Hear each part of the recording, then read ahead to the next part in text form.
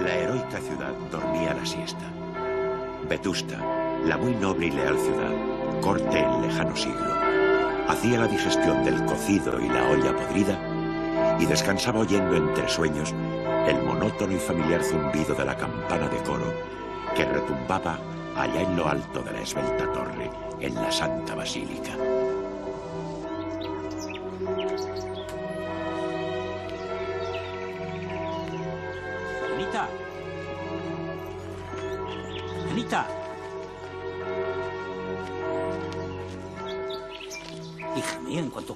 Libro se te va el santo al cielo. Visita ya está aquí, mira. Ay, hija, llevo un día. No he parado desde que salí esta mañana a las 8. No tengo ni idea de cómo se las habrán arreglado Cuervo y los niños. Pero venga, mujer, que se nos echa el tiempo encima. Ella con un libro entre las manos está en la gloria. ¿Habrás avisado a don Fermín de que quieres confesar? No sabía que debía hacerlo. Pues hija, con lo solicitado que está, no sé yo si lo vas a encontrar. No va a estar sentado en el confesonario toda la tarde por si se te ocurre a ti aparecer. ¿Tú crees?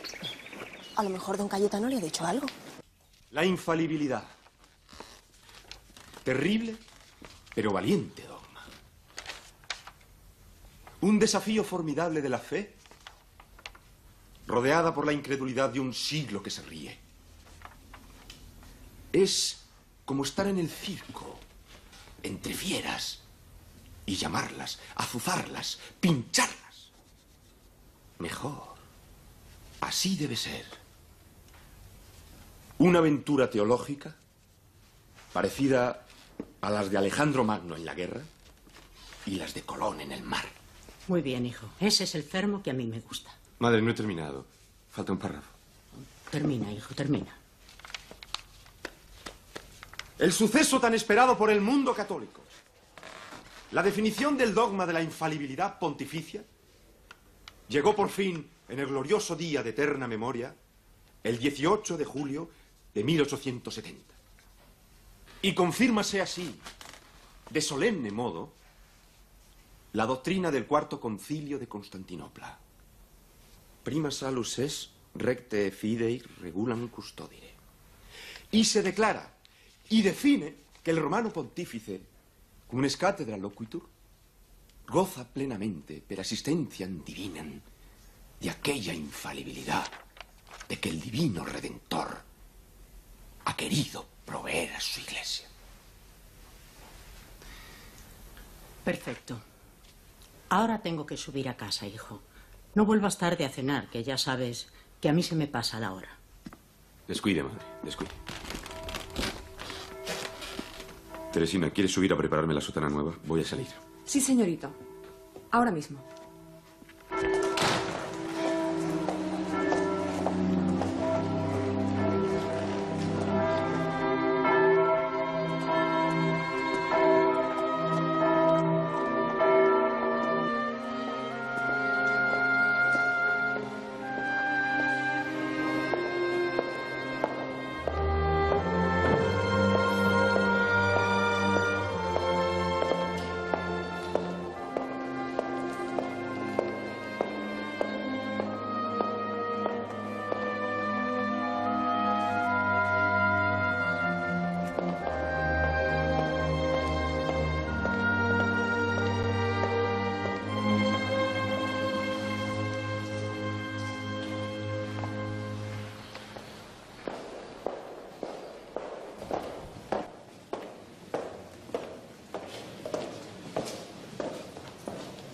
Querido don Fermín, creía que no llegaba usted nunca. Buenas tardes, Obdulia. Me tiene usted tan olvidada. ¿Cuándo va a tener la amabilidad de escucharme en confesión? No se haga usted de rogar. No me hago de rogar, señora. Un día de estos le mandaré recado. De todos modos, le sugiero que si tiene usted prisa puede confesar con don Custodio. Él la recibirá encantado. Si se da prisa, quizás lo alcance. Acabo de verle salir de su confesonario. ¿No es lo mismo, don Fermín?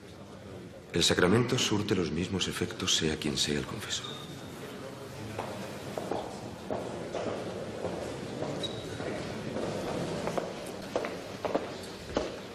Deprisa, Celedonio.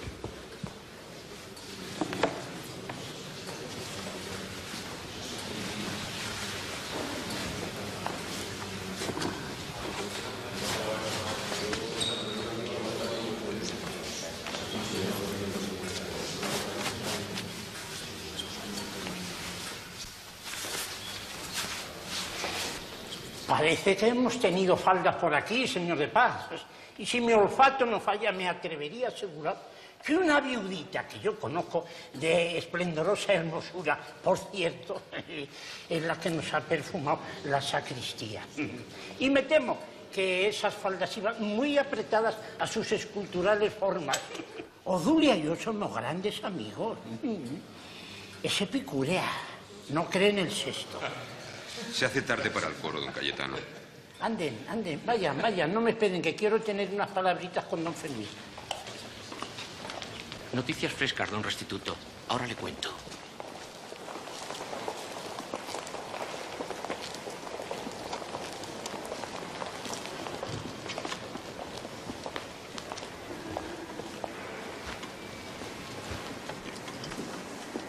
¿Sabe usted quién estaba esperando a don Fermín para ser oída en confesión? La regenta en persona. Ya. Ya he visto que el arcipreste anda con secretitos, con su magistral de sus entretelas. Y mientras tanto, los demás aquí de plantón. Este don Cayetano chochea. Está cansado de cargar con los pecados de las señoras más conocidas de Vetusta. Y se las va dejando en herencia a su discípulo predilecto. Y ahora le ha tocado el turno a la regenta. Puede ser. O a lo mejor la iniciativa ha sido de la regenta, que ante la renuncia de don Cayetano ha elegido personalmente al magistral.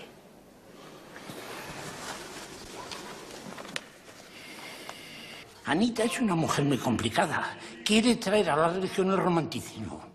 Y aunque nadie lo sospeche en Vetusta, es una mujer desgraciada. Habrá usted oído hablar de su padre, don Carlos Ozores. Sí, sí, algo he oído. Don Carlos abandonó el ejército por la física y las matemáticas y por los muchos amoríos, hasta que loco de amor se casó con una modista italiana que murió al dar a luz a Anita. Al morir su mujer, don Carlos contrató a una haya para que se hiciera cargo de la educación de la niña, que por lo que me ha contado a mí Anita debía ser una bruja. Cuando murió su padre, Anita enfermó de repente y sus tías la trajeron a Vetusta. Y la casaron con don Víctor, que podía ser su padre. Sí, o su abuelo. Pero entonces la diferencia de edad no se notaba tanto.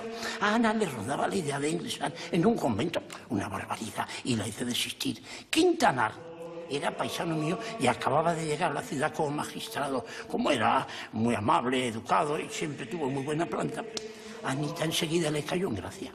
En fin, usted verá, don Fermín, la regenta no es una señora como esta de por aquí. Tiene mucho tesón. Parece una malva, pero otra le queda. Quiero decir que se somete a todo, pero por dentro siempre protesta. Don Víctor es eh, como Dios le hizo. Y como no hemos de buscar un amante para que se desahogue con él, eh, lo mejor será que ustedes se entiendan.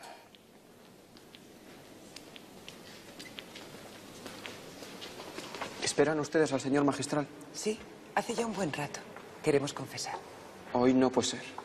El señor magistral no se sienta esta tarde en el confesonario. ¿No te lo había dicho yo? Tienes razón, ha sido una imprudencia. Anda, vamos a dar un paseo al espolón.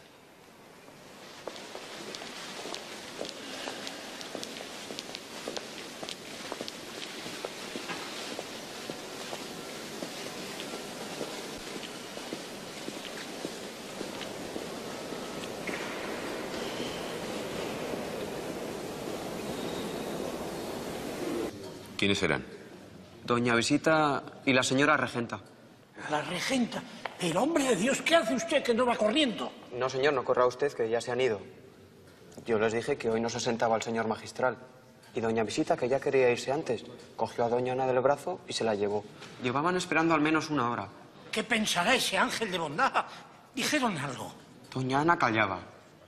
Doña Visita estaba incómoda por algo que ya le había dicho ella a la señora regenta. Creo que fueron al paseo porque doña Visita dijo no sé qué del espolón. Al espolón. Al espolón. Pero, don Cayetano, Nada, nada, nada. Anita es una gran mujer que no merece un feo. pero si no fue un desaire, yo nada sabía. Desaire, no, yo quiero dar una explicación a mi querida amiga. Al, al espolón. Al espolón, al espolón. Santas y buenas señoras. Válgame Dios, qué buen tiempo. Como esto sigue así, este año el invierno no llegará a Vetusta. Bueno, Isita, aquí tiene usted al señor magistral y a la señora regenta, que a partir de ahora van a tener que ponerse de acuerdo en muchas cosas. Yo me lavo las manos. Precisamente Ana y yo estuvimos esta tarde en la catedral, con tan mala fortuna que no conseguimos verle. De haberlo sabido, las hubiera atendido con sumo gusto. En cuanto nos hemos enterado, hemos venido en su busca. Ya le he hablado a don Fermín del gran interés que tengo por ti. Le quedo muy agradecida, don Cayetano. Usted dirá cuándo le conviene. Mañana mismo. Después del coro la espera usted en mi capilla. Me permito sugerir a usted que al cambiar de confesor es muy conveniente hacer confesión general.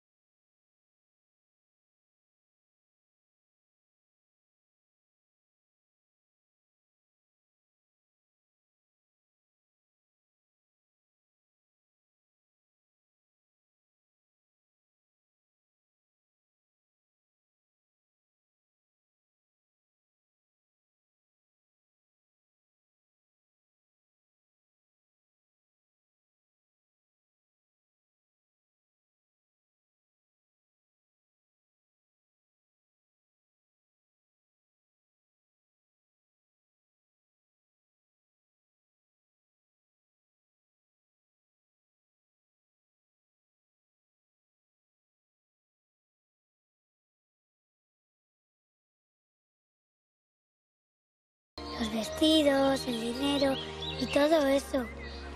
Oye, ¿cómo son las madres? Dan mucho beso. ¿Y también cantan? Sí, pero yo ya soy mayor para que me canten. ¿Dormiste o no con ese truán? Sí, dormimos juntos, pero fue sin querer. Solo queríamos ver la luna y contarnos cuentos. ¡Qué escándalo! De tal palo, tal astilla. Estás en pecado mortal y ahora mismo vas a ir a confesarte. Mañana escribiré a tu padre contándole lo que tú eres. Y a tus tías. Sí, también a tus tías. Para que todos en Vetusta sepan cómo ha salido la niña. Pero si no hicimos nada. Más vale que te calles, que ya hemos tenido suficiente por hoy. Toda la noche buscando a la señorita. Y prepárate, porque en octubre vas a ir interna a un colegio de recoletas.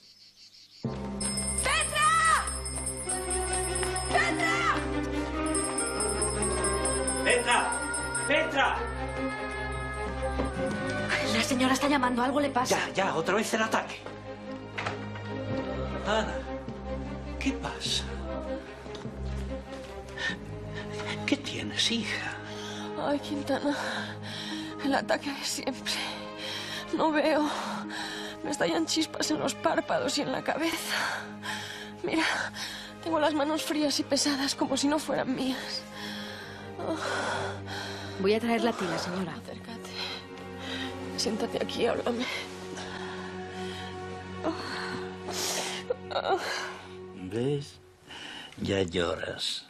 Buena señal. La tormenta de nervios se deshace en agua. El ataque está como curado. No. Sí, ya me siento mejor. Ay, Quintana.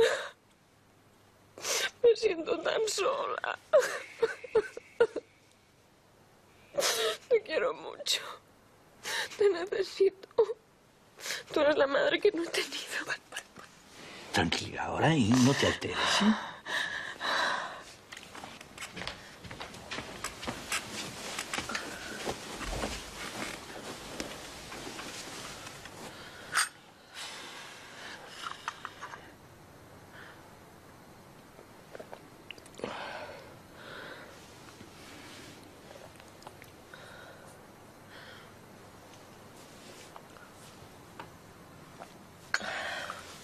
Gracias, Petra. Eres tan bueno. Bueno, me voy a retirar. No resisto el sueño. No quisieras tener un hijo, Víctor. ¿Con mil amores? Tú y yo siempre juntos, ¿verdad, Quintanar? Pues claro, hija, pues claro. Es que te quiero mucho. Ya lo sé. Y yo a ti. Pero ahora vas a ser obediente a tu marido y te vas a dormir. ¿Mm? Tienes razón. Siento una fatiga dulce. Voy a dormir.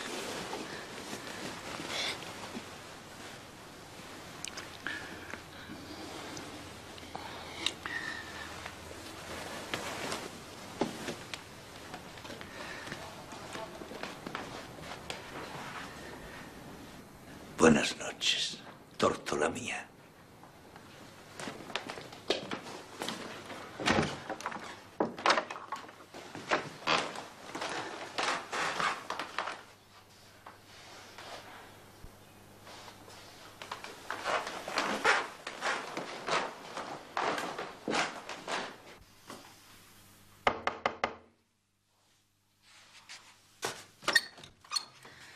¿Qué hay? ¿Está peor la señora? No, no, no es eso, hija. Es que... Quiero que me llames cuando oigas ladrar. Guau, guau. Ya sabes, don Tomás. Y que la señora no se entere, que no le gusta que me vaya tan temprano. Descuide usted, señor. En cuanto ladre don Tomás, iré a llamarle. ¿No hay más? No, no. Y acuéstate, que estás muy a la ligera y hace mucho frío.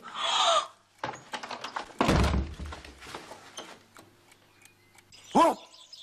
¡Oh, oh!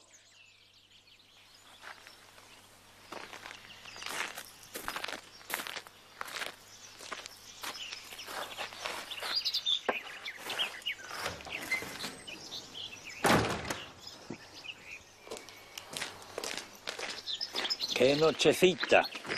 ¿No ha dormido bien? Anita se puso mala. Otra vez el dichoso ataque.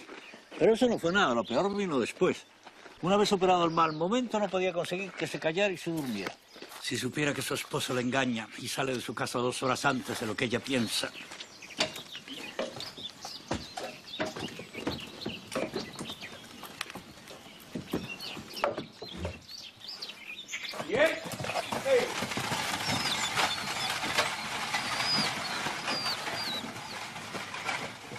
Cuando conseguí meterme en la cama no podía conciliar el sueño. Y estuve leyendo unas páginas del médico de su honra, del insigne Calderón. La honra. Qué buen tema. ¿Sabe usted lo que le digo? Que si mi mujer fuese capaz de caer en lidiandad digna de castigo, yo le doy una sangre suelta. Hombre, Quintanar.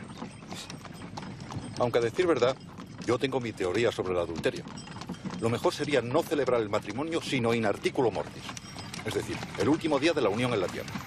Yo no, no, no, no acabo de coger. Es muy sencillo. Al morir uno de los dos esposos, la Iglesia y el Estado, previa declaración de las partes, podría sentenciar con conocimiento de causa. Esto fue un matrimonio. Todo lo demás es prejuzgar la cuestión. Tiene su sentido. ¿eh? Claro, eso evitaría de raíz el adulterio. Pero en el caso de ustedes dos no existe la más remota posibilidad de que se dé ese supuesto. Yo sé mejor que nadie el general respeto y admiración que inspira Anita. En Vetusta Decir la regenta es decir la perfecta casada. Ya sé que es un absurdo, pero aún suponiendo ese absurdo, yo le doy una sangría suelta. Eso está bien para las comedias, pero en el mundo real, lo que debe hacer un marido en tan apurada situación es perseguir al seductor ante los tribunales y procurar que la mujer vaya a un convento. Eso sí que es un absurdo. Llegado el caso, mis atrocidades serían dignas de poner en décimas calderoniana.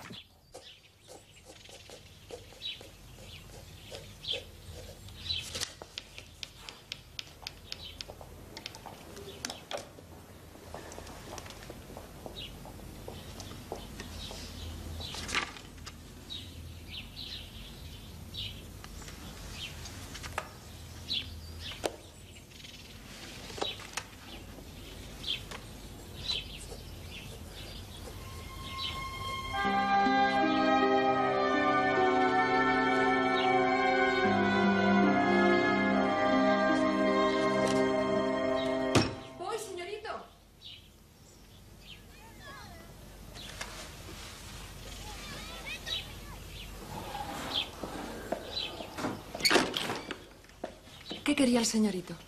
Yo no te he llamado. Juraría haber oído No, no. ¿Qué hora es? las ocho y diez. ¿Mi madre? Duerme todavía. Subió ayer noche tarde de la tienda. Como está con las cuentas del trimestre. Está bien, está bien, está bien. Tráeme el desayuno, hija mía.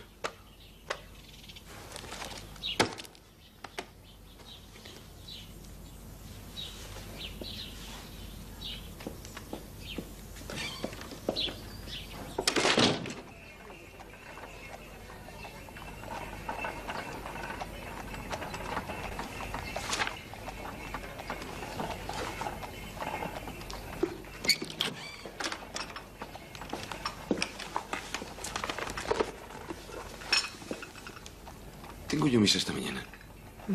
El señorito tiene tantas cosas en la cabeza que si no fuera por mí no sé lo que iba a hacer.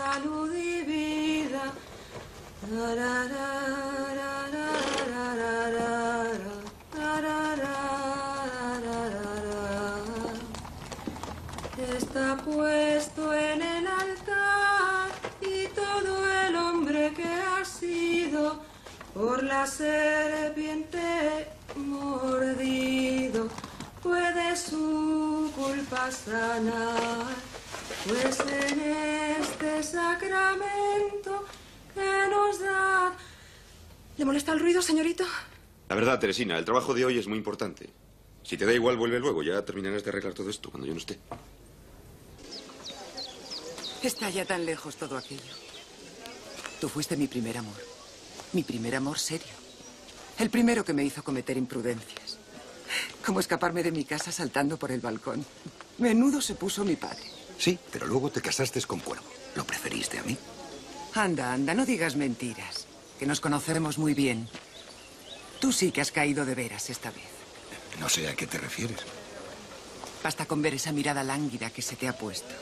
Antes de que continúes con esa cantinela, debo advertirte que te equivocas de medio a medio. Pero también te digo una cosa. No va a ser una conquista fácil. ¿Ya sabes lo que dicen por ahí? La regenta es inexpugnable. Aunque vete tú a saber. Una mujer casada peca menos que una soltera cometiendo una falta. Porque al fin y al cabo, la casada no se compromete. Lo sé por propia experiencia. Y me cuesta aceptar que ella, por muy regenta que sea, pueda resistir al amor de Álvaro Mesía. Querida, yo no estoy enamorado. Es un capricho. Ella es hermosa, Alvarín. Hermosa. Eso te lo juro yo. Eso salta a la vista. No, no está todo a la vista. Si la pudieras ver cuando le da un ataque de esos que le hacen retorcerse. cómo salta sobre la cama, cómo se ríe. Tiene los ojos llenos de lágrimas y dentro de la garganta suenan unos ruidos, unos ayes, unas quejas subterráneas. Suspira de un modo, se encoge con una pereza, da unos abrazos a las almohadas. Cualquiera diría que en los ataques tiene pesadillas y se muere de amor. Pero te ha de costar mucho trabajo. Puede que no tanto. Ella tragar ya tragó el anzuelo. ¿Tú crees? Mucho tiempo llevas pensándolo. ¿Y quién te lo ha dicho? Estos. ¿Sí? ¿Y lo de ella cómo lo sabes? Curiosón. El que no estaba enamorado. Va, enamorado. Pero es natural que quiera saber cómo está ella. Para echar mis cuentas. Mira, si le hablan de ti, palidece. O se pone roja como un tomate. Enmudece. Y cambia de conversación en cuanto recupera la voz. Ella piensa que nadie la observa. Pero la observo yo.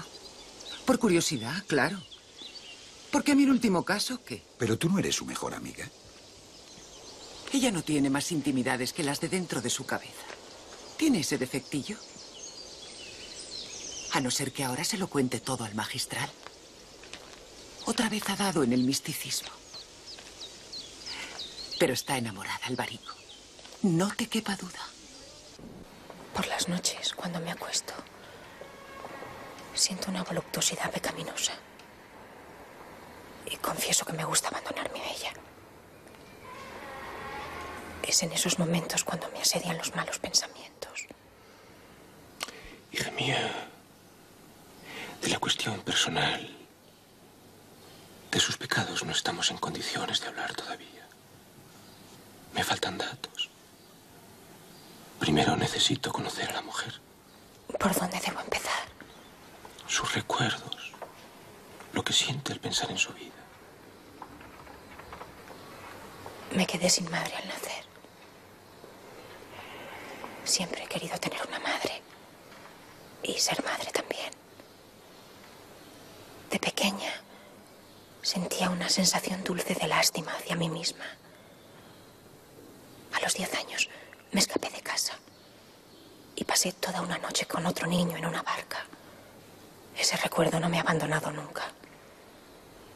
Nunca he sabido a ciencia cierta si pequé entonces. Es su acusada sensibilidad la que le provoca esos escrúpulos por algo tan lejano y que no debió pasar de un inocente juego de niños. Di por cierto que eso era el pecado.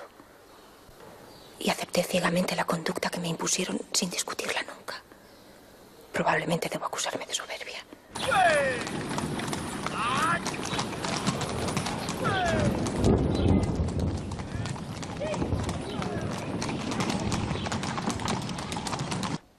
¿Qué hay?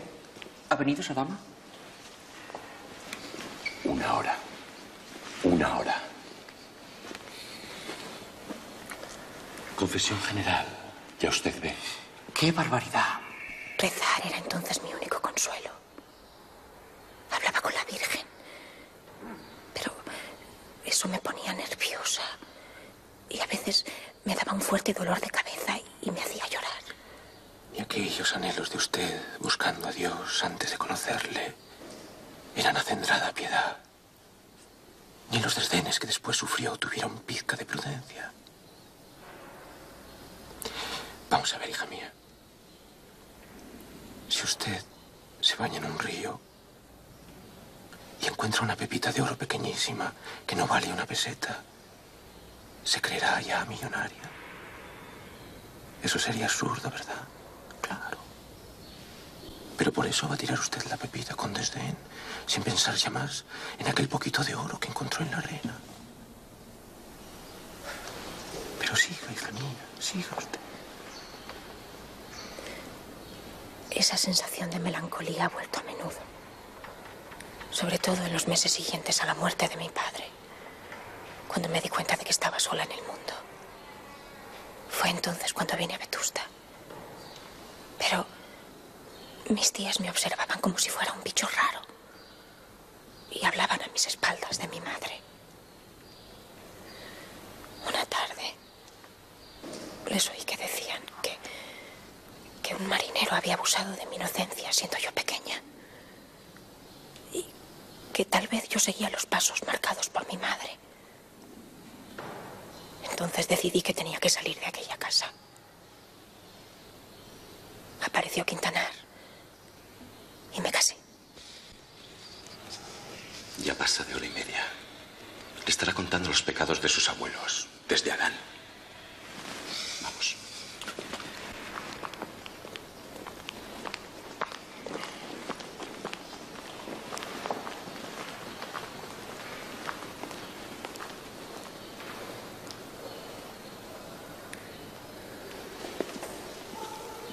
Aunque tengo la impresión de haberme confesado, me da usted su absolución. Le he hablado con palabras que nunca en mi vida había usado con los demás. Pero quedan tantas cosas, tantas dudas. Hija mía, esa historia de sus tristezas merece que yo medite mucho. Su alma es noble, pero usted está enferma. Mm. Yo no sé cómo hay alguien que hable mal de la confesión. El alma tiene, como el cuerpo, su terapéutica y su higiene. Al confesor es preciso considerarle como un padre espiritual, como el hermano mayor del alma, con quien las penas se desahogan y los anhelos se comunican y las esperanzas se afirman y las dudas se desvanecen. Si todo esto no lo ordenase nuestra religión, lo haría el sentido común. La religión es toda razón, desde el dogma más alto hasta el pormenor menos importante del rito. La salvación es un negocio, el gran negocio de la vida. Ego te assolvo peccatis tuis, in nomine Patris et Filii et Spiritus Sancto.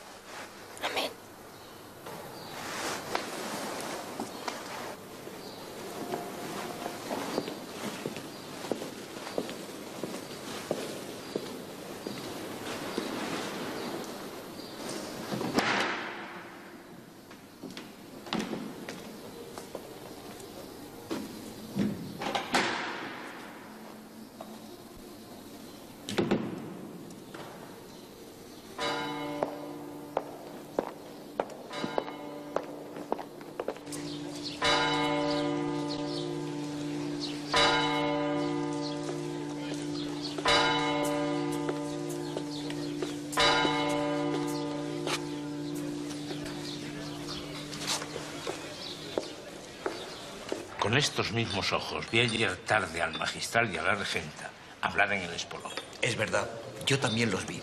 De paz iba con el arcipreste y la regenta con visitación. Es más, el magistral se puso muy colorado. Pues yo sé más que todos ustedes.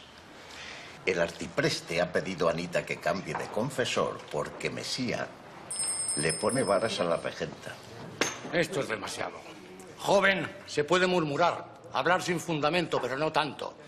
Vaya por el magistral y el secreto de confesión. Pero tocar a la regenta. Amigo mío, es usted un imprudente. Señores, yo no he dicho que la regenta tome varas, sino que Álvaro quiere ponérselas, lo cual es muy distinto.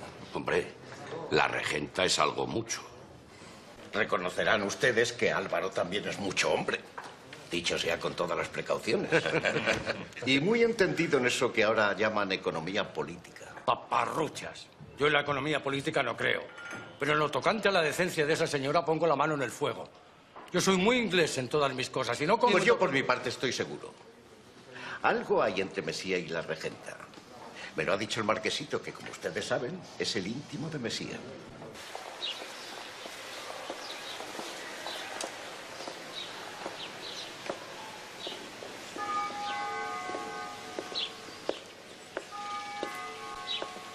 Petra.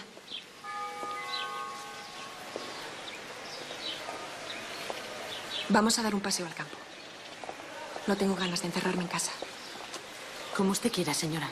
Vamos.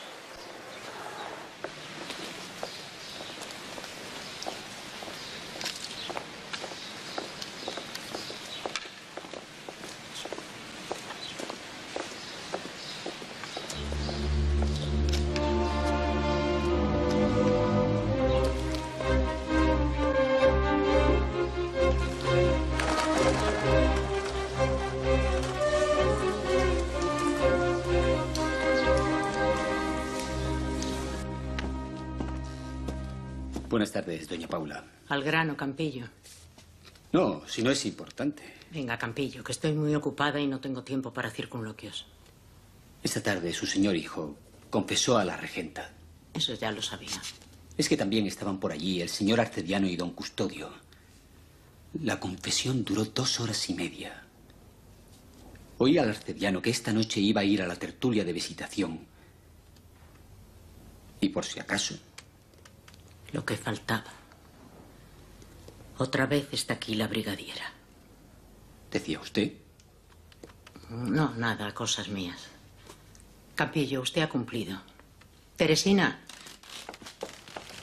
ábrele la puerta de la tienda y mira que no pase nadie.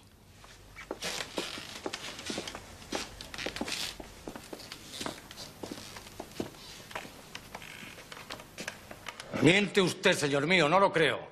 Y ese señor don Juan Tenorio, por muy presidente del Partido Liberal que sea, ya puede ir llamando a otra puerta, que la regenta es una fortaleza inexpugnable. Y conste que yo sostendré esto en todos los terrenos. Si no quiere usted creerlo, manténgase en la ignorancia. En todos los terrenos, ¿me ha oído?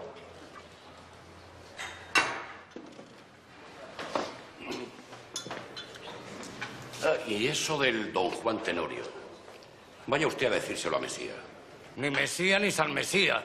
No parece sino que don Alvarito se come a los niños crudos y que todas las mujeres se le abren de piernas.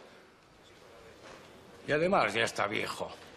No digo yo que allá en sus verdores, cuando las costumbres estaban perdidas gracias a la gloriosa, no digo que entonces no haya tenido alguna aventurilla, pero de ahí a creer todo lo que por ahí se cuenta, hay un abismo. ¿Mm? Por ahí sube nuestro presidente.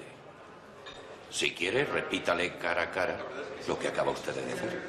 Se quedarán en una situación muy ridícula. Álvaro. Hola. Hola, Paquito.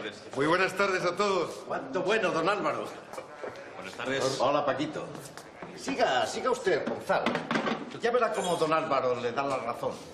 Hoy por hoy la moralidad de nuestras familias es el mejor escudo. Vamos, querido Ronzal, que en estos tiempos de moralidad... En Vetusta la vida no tiene incentivo para el vicio. No digo que todo sea virtud, pero faltan las ocasiones y la sana influencia del clero hace mucho. El obispo es un santo, el magistral también. ¡Hombre, el magistral! No me venga usted a mí con cuentos. Bueno, probablemente el magistral no sea un místico, pero tampoco es un solicitante. ¿Qué es eso de solicitante? Que se aprovecha del confesionario para tirarle los tejos a las penitentes. La duda ofende. ¿Que va a ser un solicitante el magistral? El verdadero pecado del magistral es la simonía.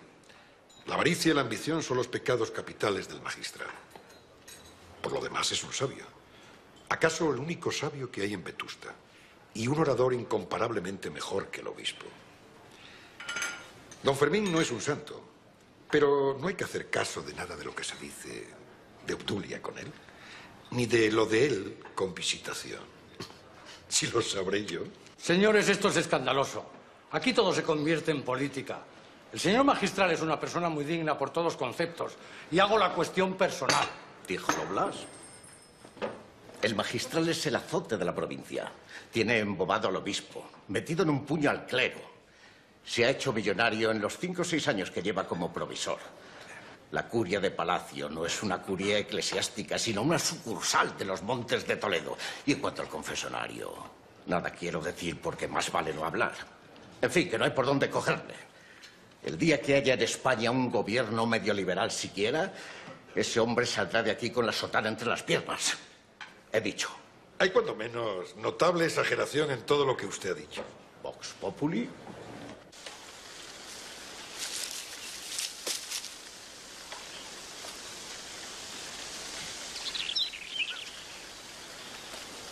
Petra, ¿por qué no te vas a dar una vuelta? Quiero estar sola.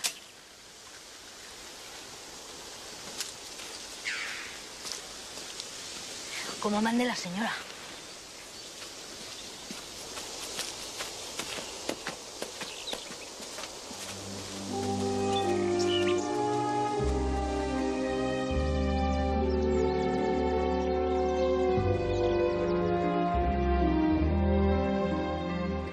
La virtud empieza por un esfuerzo ligero.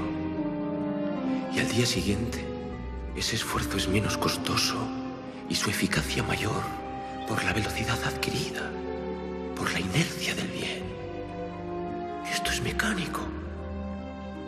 Y después, cuando ya no se teme a la tentación, sino con temor prudente, se encuentran edificantes muchos espectáculos que antes eran peligrosos. Al que llega cierto grado de fortaleza, la presencia del mal lo edifica a su modo por el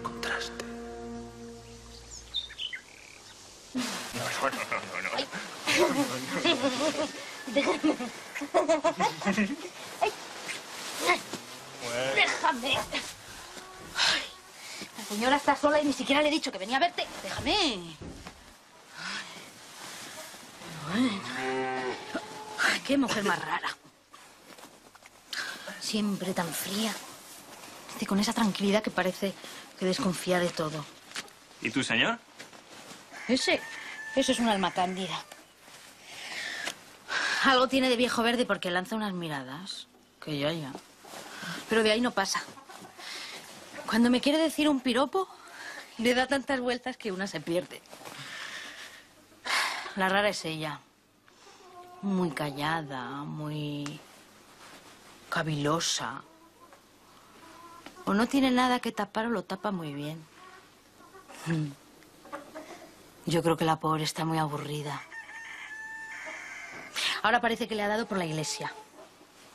Más de una hora me ha tenido esperándola a la puerta de la catedral. Con la carita toda iluminada ha salido de confesar. ¿Petra? ¿Petra?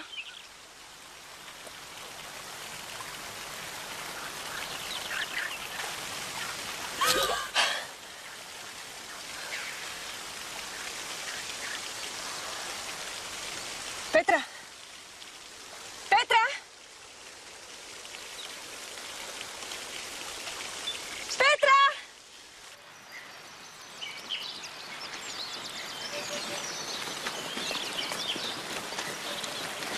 ¿Pero por qué has tardado tanto? Ya se está haciendo de noche. Que como vi que la señora estaba ensimismada, aproveché para ir a ver a mi primo Antonio Almolino, que está aquí cerca. Algo tienes tú con ese primo tuyo. Es muy guapo y dice que está enamorado de mí. Y tal vez acabe casándome con él. Pero cuando sea más vieja y él tenga posibles.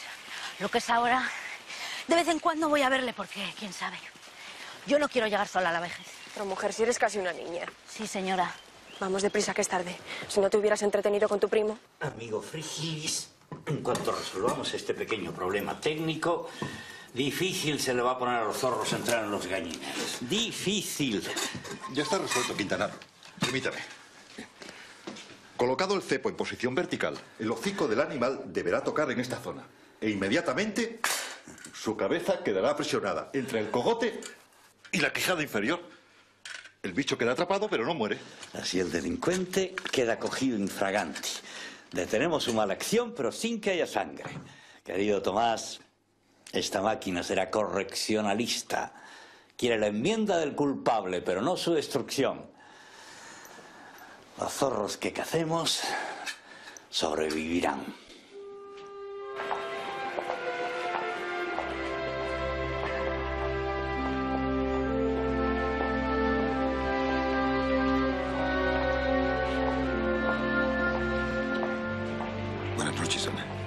Anita.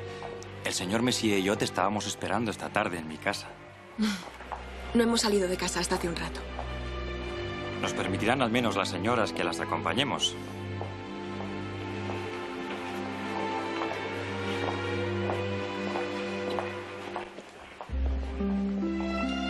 Debe usted aburrirse mucho en Vetusta. Sí, a veces me aburro. Llueve tanto. Y aunque no llueva, usted no va a ninguna parte. ¿Será que usted no se fija en mí? Bastante salgo. Señora, usted donde quiera que esté debe llamar la atención, aun del más distraído.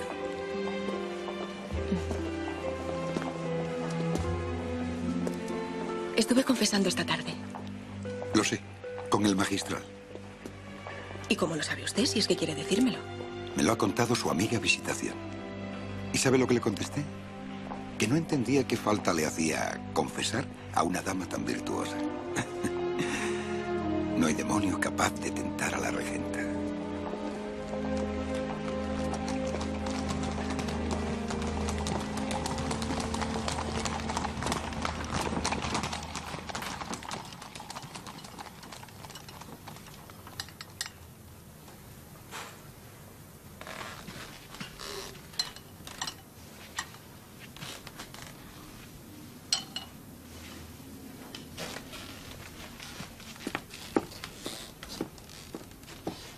Por qué se le ha antojado al espantajo de don Cayetano encajarte ahora esa herencia?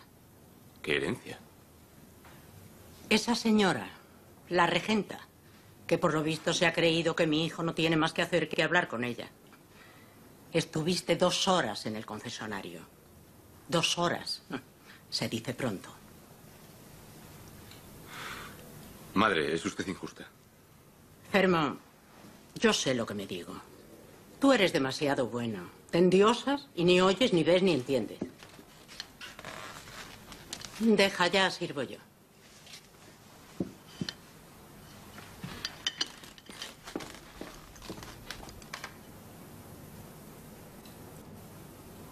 Teresina, Dígame, señora. poco has tardado. Anda, sirve tú, yo no tengo gana.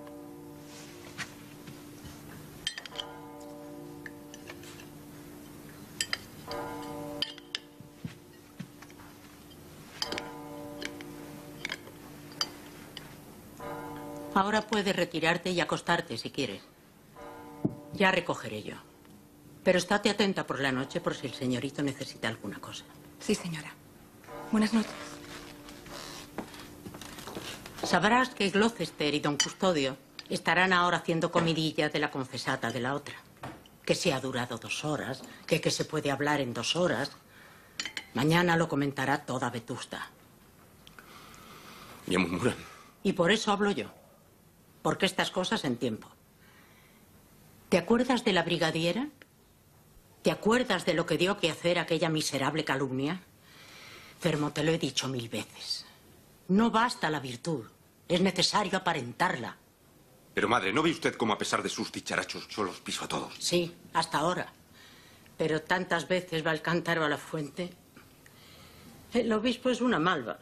Bueno, no es un obispo, es un borrego, pero Le tengo en un puño. ya lo sé. Y yo en otro. Pero si su ilustrísima polichinela da otra vez en la manía de que pueden decir verdad los que te calumnian, estás perdido. Don Fortunato no se mueve sin orden mía. Ah, no, no te fíes. Es porque te cree infalible. Pero el día en que le hagan ver tus escándalos, ese día estamos perdidos. Pero qué escándalos, madre, qué escándalos. Está usted exaltada, ve usted visiones. Bueno, yo, yo me entiendo. Con que Gloucester, ¿eh? Y don Custodio. ¿Qué han visto? ¿Qué pueden decir esos miserables? Envidia. Pura envidia. Gloucester querría confesar a la de Quintanar. Es natural. Él es muy amigo de darse tono y le gusta que digan si enamora a las beatas o no las enamora. Es un farolón y un malvado. Ah, madre, madre. Usted exagera como un sacerdote. Fermo, tú eres un papanatas. ¿Tú no sabes que de nosotros dicen mil perrerías? Gloucester, don Custodio, Foja y el mismísimo Mesía, con toda su diplomacia, pasan la vida desacreditándote.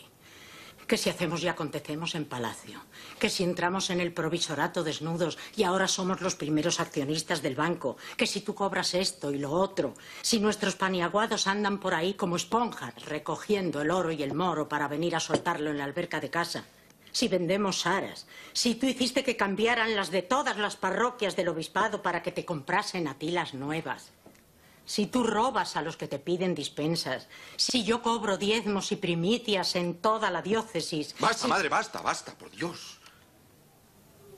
Y por contra, tus amoríos, tus abusos de confesor. El día menos pensado nos tumban. Eso no, madre.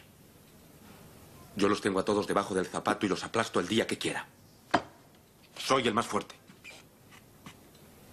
Siéntate, que no he terminado. Ese es el único flanco que podemos presentarles, Fermo. Acuérdate de la otra vez. Aquella era una mujer perdida. Pero te engañó, ¿verdad? No, madre, no. ¿Pero qué sabe usted? Ya sabe que me repugnan esos recuerdos. Fueron cosas de la juventud. Pero ¿por qué tiene usted que temer que me vuelva a descuidar ahora? En la época de la brigadiera yo no tenía experiencia. También Salomón cayó. La mujer es omnipotente. Bien lo sé yo, Fermo. Pero la regenta no es la brigadiera, madre. Ni la reina de Saba. La regenta. La regenta, la regenta. Todos dicen que es una señora incapaz de pecar. Pero ¿quién lo sabe? ¿Qué demontres hace entonces dos horas seguidas en el confesonario? Puede que no sean más que murmuraciones, pero cuando el río suena, no es la primera vez que lo oigo. ¿Qué oye usted qué? Que don Álvaro Mesía está enamorado de la regenta. O por lo menos que quiere enamorarla como a tantas otras. Eso son calumnias, madre. Mira, Fermo, Mesía es tu enemigo, aunque tú no lo quieras creer. Yo lo sé. Y diría más, es tu rival. Y quiere ejercer sobre la ciudad el dominio que tú te has ganado con tu esfuerzo. Es buen mozo, como tú. Y listo también. Es arrogante, un hombre de mundo, y tiene el prestigio del amor, que le permite contar con las mujeres de muchos personajes de Vetusta y a veces con los personajes mismos gracias a las mujeres. Es el jefe del Partido Liberal y al mismo tiempo el brazo derecho y la cabeza del Marqués de Vegallana, que mira por dónde preside el Partido Conservador. Todo el mundo sabe que el Marqués cree resolver sus propios asuntos, cuando en realidad no hace sino obedecer a Mesía, que cuida de los negocios conservadores lo mismo que de los liberales. ¿Y cómo puede usted saber todas esas cosas? Fermo, yo no me duermo en los laureles. Vetusta necesita siempre tener un amo. ¿Y por qué no ha de estar ya Mesía disputando ese dominio? ¿Acaso no cabe en lo posible que la regenta, esa santa, y don Alvarito estén de acuerdo para tenderte una trampa? Si quieres llegar a obispo, cuidado con la regenta, Fermo. Cuidado con las confesiones de dos horas. Madre. Ya sé que le debo a usted todo lo que soy. Y que su instinto me ha llevado siempre por el camino correcto. Pero esa sospecha es una injusticia. La regenta es un ángel. Lo demás es basura de unos cuantos miserables. Vaya, vaya. De modo que es eso. Ay, mísero de mí. Ay, infelice. Apurar cielos pretendo ya que me tratáis así. ¿Qué delito cometí contra vosotros naciendo? Aunque si nací, ya entiendo qué delito he cometido. Bastante causa ha tenido vuestra justicia y rigor. Porque el delito mayor del hombre es haber nacido. Solo quisiera saber, para apurar mis desvelos, dejando a una parte cielos el delito del nacer, ¿qué más os pude ofrecer para castigarme más? No nacieron los demás. Pues si los demás nacieron, ¿qué privilegios tuvieron que yo no gocé jamás? Anita se encontró en la calle del comercio con Álvaro y fueron paseando hasta la Plaza Nueva solos. Me lo ha contado Paco. Esto está que arde. Esta vez Anita cae. Álvaro está dispuesto a comérsela. Aunque anda con algunos remilgos que no me dan muy buena espina. Al fin y al cabo, todas somos de carne y hueso. Y ella no va a ser menos. No sé, me parece que la regenta tiene Quintanar hasta que la muerte los separe. con la piel que dibujan manchas ¿Por qué no habrá venido al teatro? apenas Va mañana a comulgar. es de estrellas, gracias al docto Pincel, cuando atrevido y cruel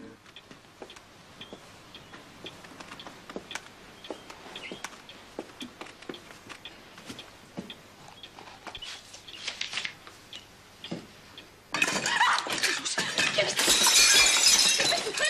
¿Quién está aquí? ¡Señora! ¡Señora! ¿Qué es esto? ¡Hay ladrones! ¿Qué ladrones? No, calla. Menaca, quítame esto. ¡Ay, qué estropicio! ¿Pero qué haces ahí parada?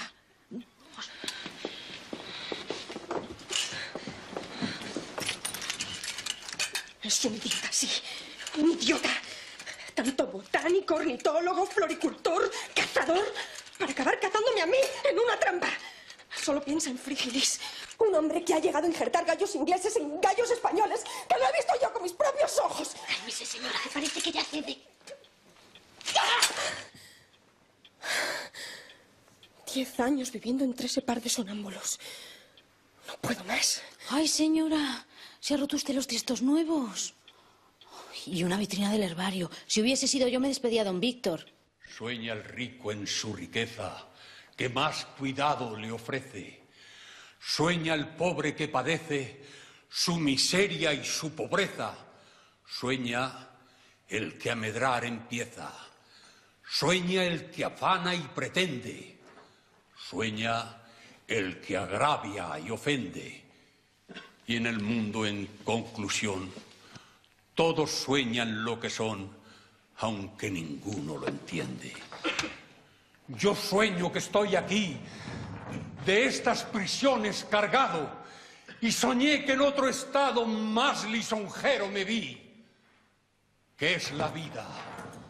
Un frenesí. ¿Qué es la vida? Una ilusión, una sombra, una ficción.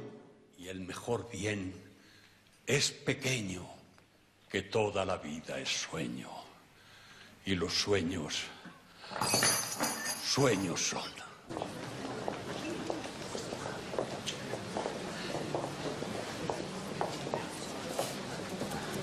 ¿Y Anita? No ha habido forma humana de convencerla. Anda algo malucha estos días. Anoche tuvo una de sus crisis nerviosas.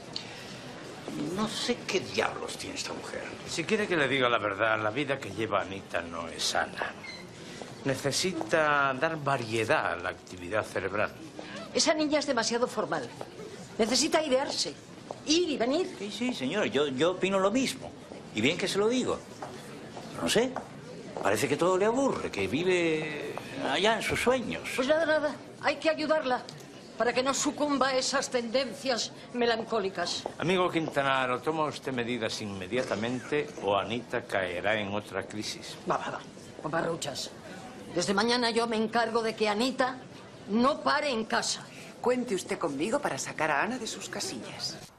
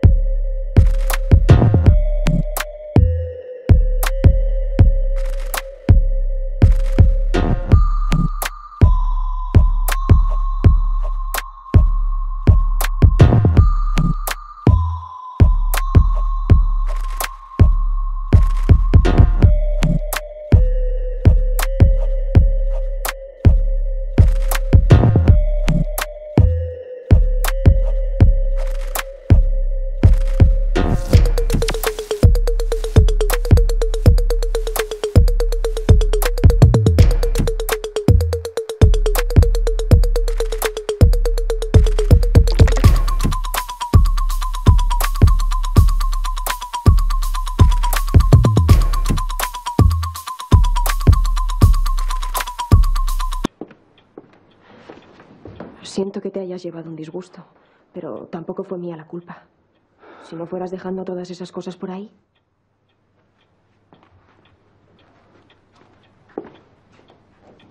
Si estará loca la pobrecita.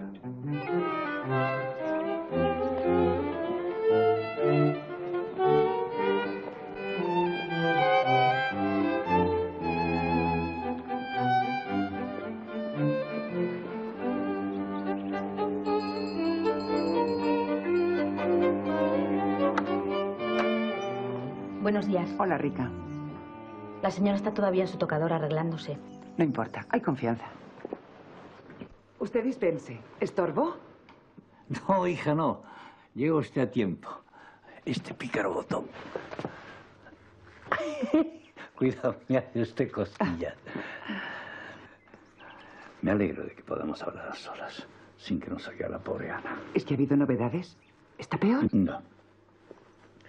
Pero no, no es cuestión ahora de entrar en detalles sobre lo que pasó anoche. Ha llegado la hora de actuar. Ya le dije a usted en el teatro que puede contar conmigo. Estoy a su entera disposición. De la mañana a la noche.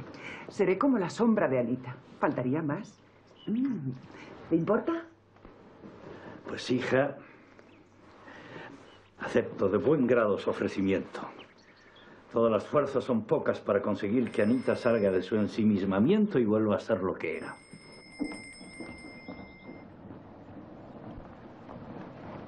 ¿Me ha llamado la señora? Sí, espera un momento. Me pareció que llamaban. Sí, era doña Visitación. ¿Tan temprano? ¿Y dónde está? Entró como alma que lleva al diablo y se metió en el despacho del señor. Bueno, bueno. Petra, en cuanto termines de vestirme, vas a llevar esta carta a casa del señor magistral. Y ocúpate de que llegue a sus manos cuanto antes. Sí, señora, descuide. Anita, mira quién está aquí. Hola, feísima mía. Pero, hija, ¿cómo te las arreglas para estar tan temprano en la calle? Uy, y no sabes la de cosas que he hecho ya. Yo no sirvo para estar metida en casa. Para eso está Cuervo, que se ocupa de los niños. La verdad es que el pobre no se las arregla muy bien. Pero mira, que espabile, ya aprenderá. No, no me mires así. ¿Quién guía la casa? Yo. ¿Quién nos salva en los apuros? Yo. ¿Quién sortea las dificultades del presupuesto? ¿Visitación también? Pues lo menos que puedo pedir es que me dejen salir y divertirme. ¿Y tú qué haces así todavía, sin vestirte siquiera? A vestirte a la calle. No quiero que lleguemos los últimos a casa de los marqueses. Son los días de Paquito. Pero es que hoy estoy muy nerviosa. Guerra los nervios. Caracoles. N- Nada, fallo. Que debo condenar y condeno esta vida que haces. Y desde mañana mismo empezamos otra nueva. Iremos a todas partes. Y si me apuras, mando a Paco o al mismísimo Mesías, el simpático Tenorio de Vetusta, que te enamoren. ¡Qué atrocidad! Programa. Al teatro. Dos veces a la semana, por lo menos. A la tertulia de la Marquesa, cada cinco o seis días. Al Espolón, todas las tardes que haga bueno. A las excursiones de la High Life vetustense y a la catedral cada vez que predique don Fermín y, y repique en gordo. Y esto no es un programa de gobierno, sino que se va a cumplir en todas sus partes.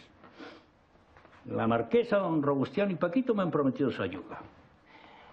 Y esa señora me ha dicho textualmente que está dispuesta a sacarte de tus casillas. Señora, saldremos de nuestras casillas. Pero Quintanar.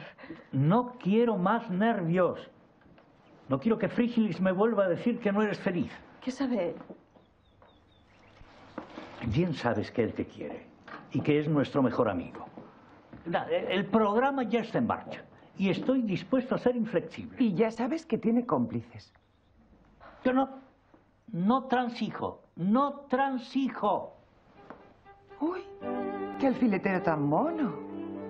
¿Te gusta? Está a tu disposición. No me lo digas dos veces, que ya sabes que yo soy una urraca.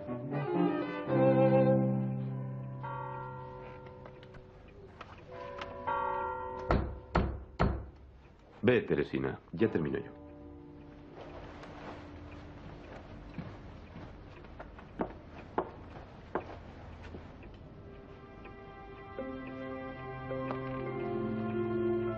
Lo que estoy pensando? ¿Qué, Teresina? Que el señorito se parece a la torre de la catedral.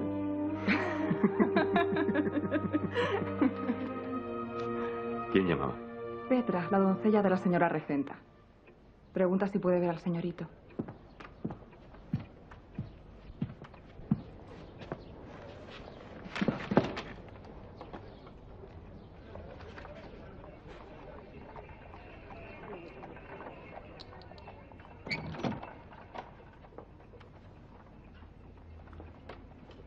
Buenos días, señor magistral.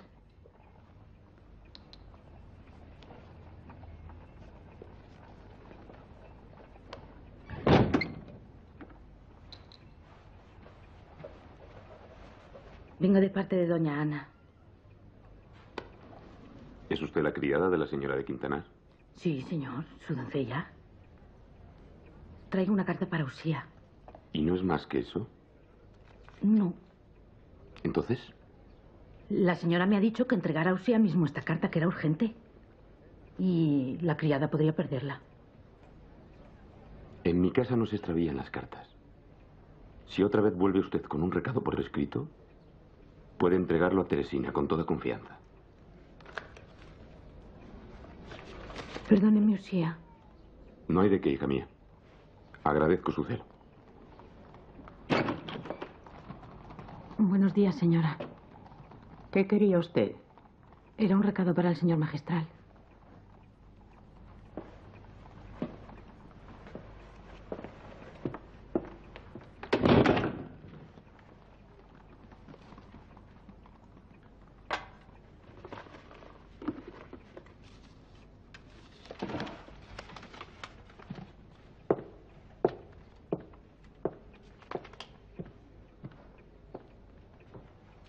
Voy a salir a la calle. Tengo que felicitar a Paco de Gallana. Pasaré también por Palacio.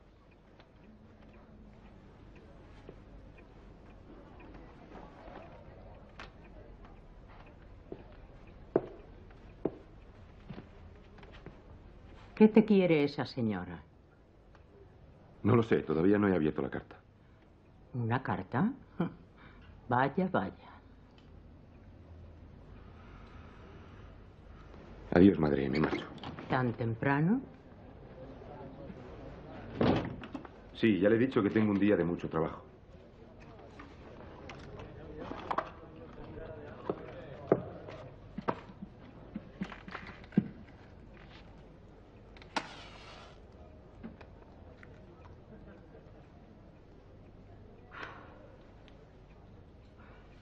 ¿No la vas a leer?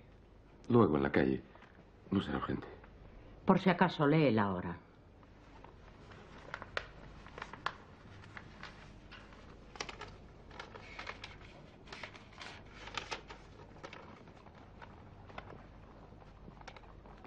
Mi querido amigo, hoy no he podido ir a comulgar. Necesito ver a usted antes. Necesito reconciliar. ¿No cree usted que son escrúpulos de esos contra los que usted me prevenía? Creo que se trata de una cosa seria. Si usted consintiera en oírme esta tarde un momento, mucho se lo agradecería a su hija espiritual y afectísima amiga que besa su mano, Jesús, qué carta. ¿Qué tiene? ¿Te parece bien ese modo de escribir al confesor? Parece cosa de doña Obdulita. ¿No decías que la regenta era tan discreta? Esa carta es de una tonta o de una loca. Ni es loca ni es tonta, madre. Me escribe como un amigo. Mira, Fermo, ya te lo dije ayer. No quiero más cartitas. No quiero más conferencias en la catedral. Que vaya al sermón la señora regenta si quiere buenos consejos. Allí hablas para todos los cristianos. Que vaya a oírte al sermón y que nos deje en paz.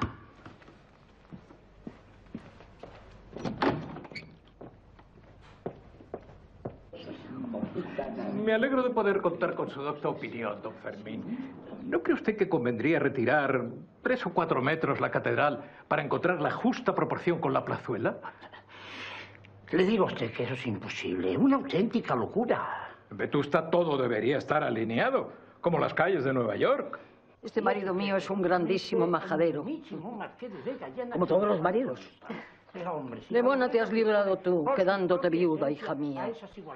¿Qué le importará a él que una casa sea más alta que la otra? Pero los tejanos deben medirse todos por un mismo rasero. Son muy maniáticos. ¿Qué me va usted a contar? Buenos días. Buenos días. Señor magistral, tengo mucho gusto en saludarle. ¿Saben ustedes que el señor magistral se queda a comer? Me parece una magnífica idea, aunque empiezo a dudar que hoy se coma en esta casa. Por cierto, don Cayetano, vamos a echar una mirada a los hornillos. Recibí su mensaje.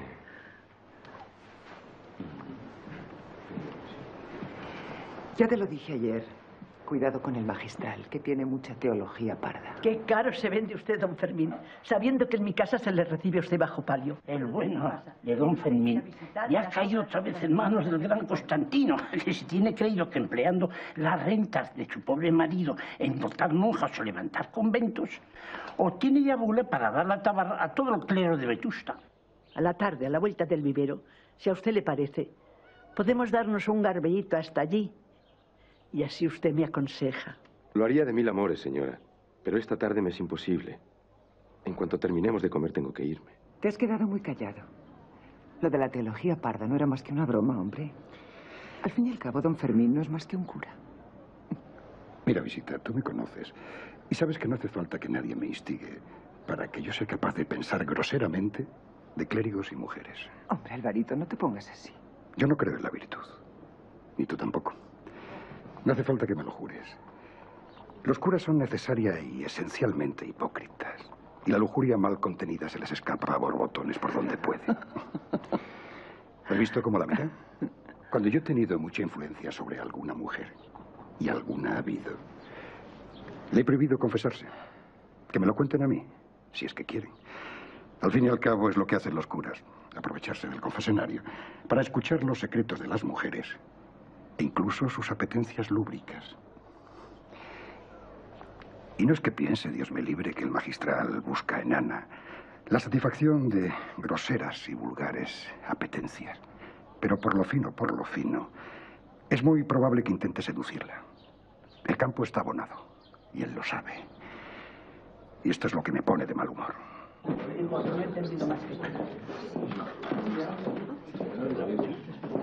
Esta excelente comida servida así es miel sobre hojuelas. Me gusta que me sirvan muchachas muy jóvenes y bonitas y que vayan siempre limpias como armiños. Será de mal tono, pero todos mis convidados quedan contentos del servicio. Y que usted lo diga, doña Rufina. Tengo observado que a las señoras no les suelen gustar los criados. No se fijan en ellos. En cambio, a los hombres siempre les gustan las buenas mozas, aunque sea en la sopa.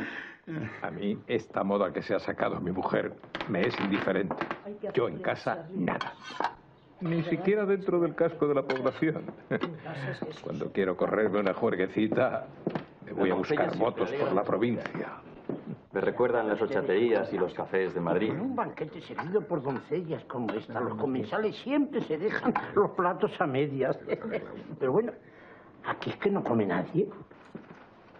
Coman, coman ustedes esos bichitos. Yo por nada del mundo perdono mis sardinas. Dirán ustedes que es una manía, pero es privilegio de los ricos tener las mañas que nos venga en gana. ¿Ya había probado el parto a la naranja hace Pedro? ¿Pedro? Sí, el cocinero de los marqueses. Es un sabio a su modo. Gracias a él, nadie se atreve a negar que la cocina del marqués es la primera de Vetusta.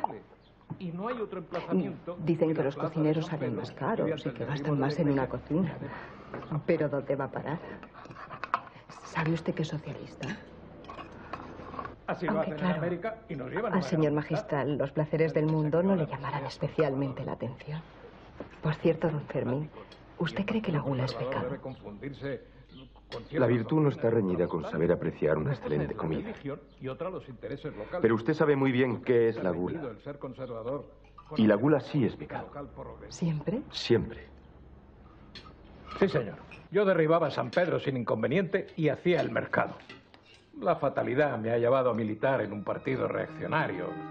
Mi nacimiento, lo- los compromisos de clase. Pero mi temperamento es liberal. Abajo, San Parece que pican. ¿Qué es lo que pica? Los pimientos, señora.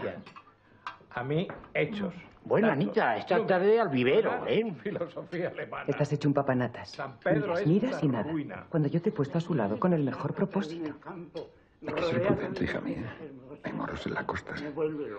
Si yo aprovechase la excitación de la comida, La mujer para mí es solo el sujeto poético. me perdería para mucho tiempo.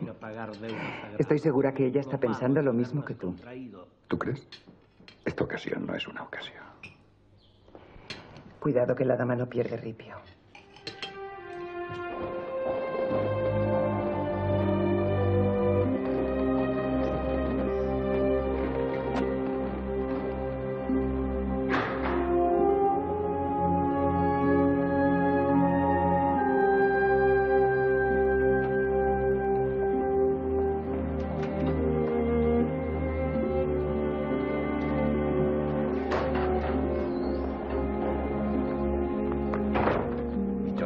Ojos. Buenas tardes, Paula. ¿A qué hora salió mi hijo de su despacho? Pero alma de Dios, ¿cómo quieres que yo lo sepa? Anda, Siéntate, hija, siéntate. No tengo tiempo para chácharas. Fermín no ha aparecido por casa desde esta mañana. ¿Habrá ido a comer a casa del marqués? Sin avisarme. ¿Y por qué iba a ir a comer con el marqués? Porque hoy es el cumpleaños de Paco de Gallana. Cuando aparezca por aquí, dígale de mi parte que todavía le estoy esperando para comer. Pero Paula, si ya son más de las cinco. Pues por eso.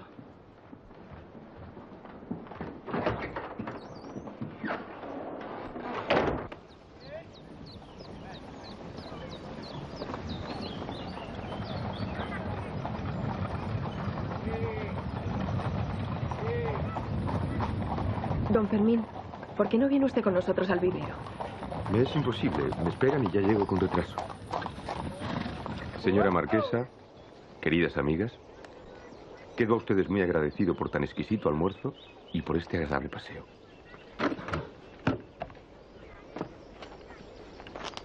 Qué desfachatez. Parece mentira, don Fermín. Mira que hacernos este desaire. Es usted muy desabrido. Señora, la obligación es siempre antes que la devoción.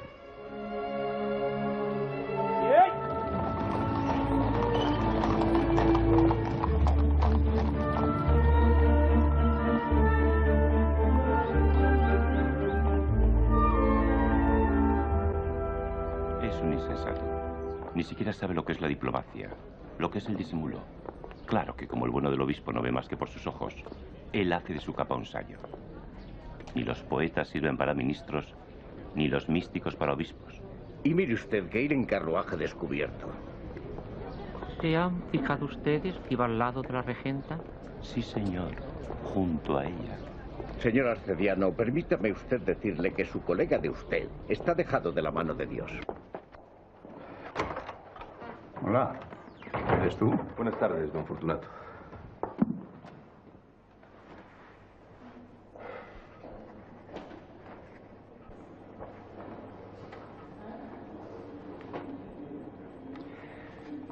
¿Me haces el favor de leer lo que dicen estas letras borradas? Yo no veo bien.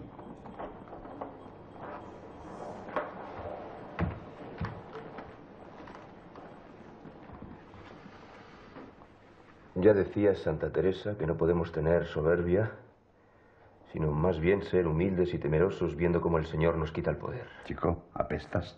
¿Que apesto por qué? A bebida hueles. No sé a qué, a, a ron, qué sé yo.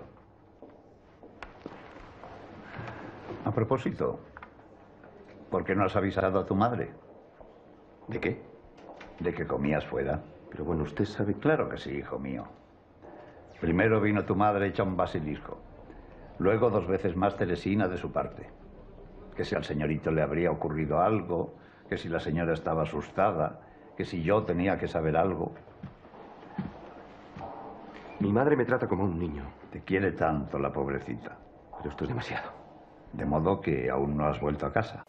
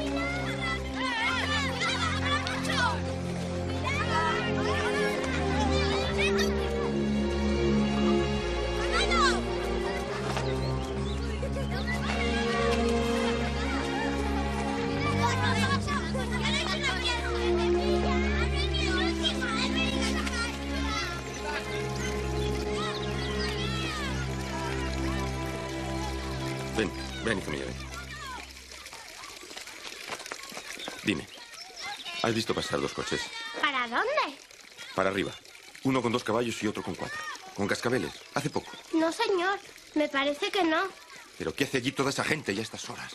¿Mande usted? No, no.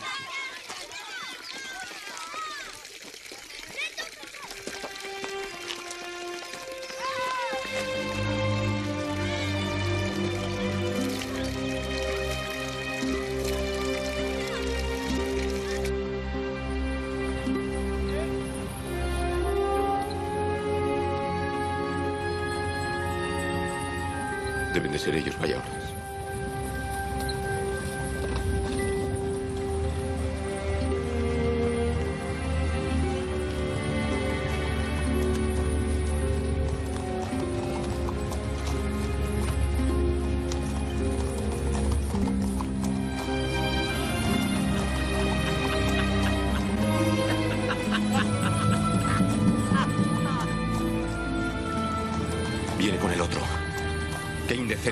Quieren echar en los brazos.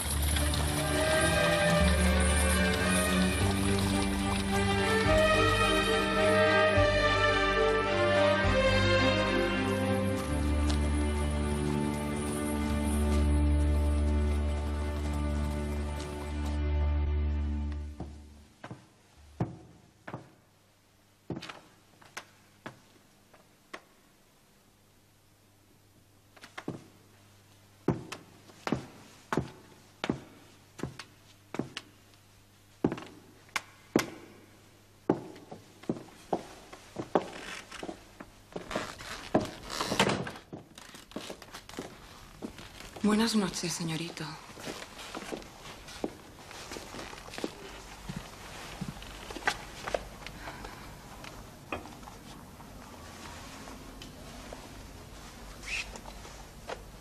Teresina, la cena. ¿Le duele la cabeza, madre? Me ha dolido. ¿No te sientas? No tengo hambre. Pero tengo mucha sed.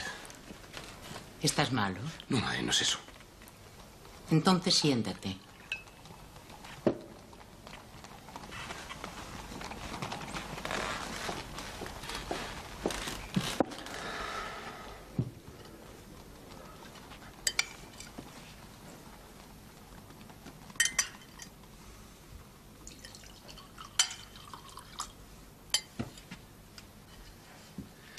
Ya he dicho que no ceno. Cena. Ella no lo había oído, hombre. No sé cómo tiene cuerpo la pobre. ¿Por qué? ¿Por qué? Ha ido esta tarde dos veces al obispado. Una vez a casa del arcipreste. Dos a la catedral. Está muerta la pobre. ¿Y a qué ha ido? A buscarte, Fermo. A eso ha ido. Y yo también. Mal hecho, madre. Yo no soy un chiquillo para que se me busque de casa en casa. Todo esto es ridículo. Si está mal hecho, ya puedes empezar a reñirme. Un hijo no riñe a su madre. Pero la mata a disgustos. La compromete. Compromete la casa, la fortuna, la honra, la posición. Todo por una... ¿Dónde has comido? He comido con los marqueses de Vegallana. Era el cumpleaños de Paco. Se empeñaron. Basta, Fermo. Basta de disimulos.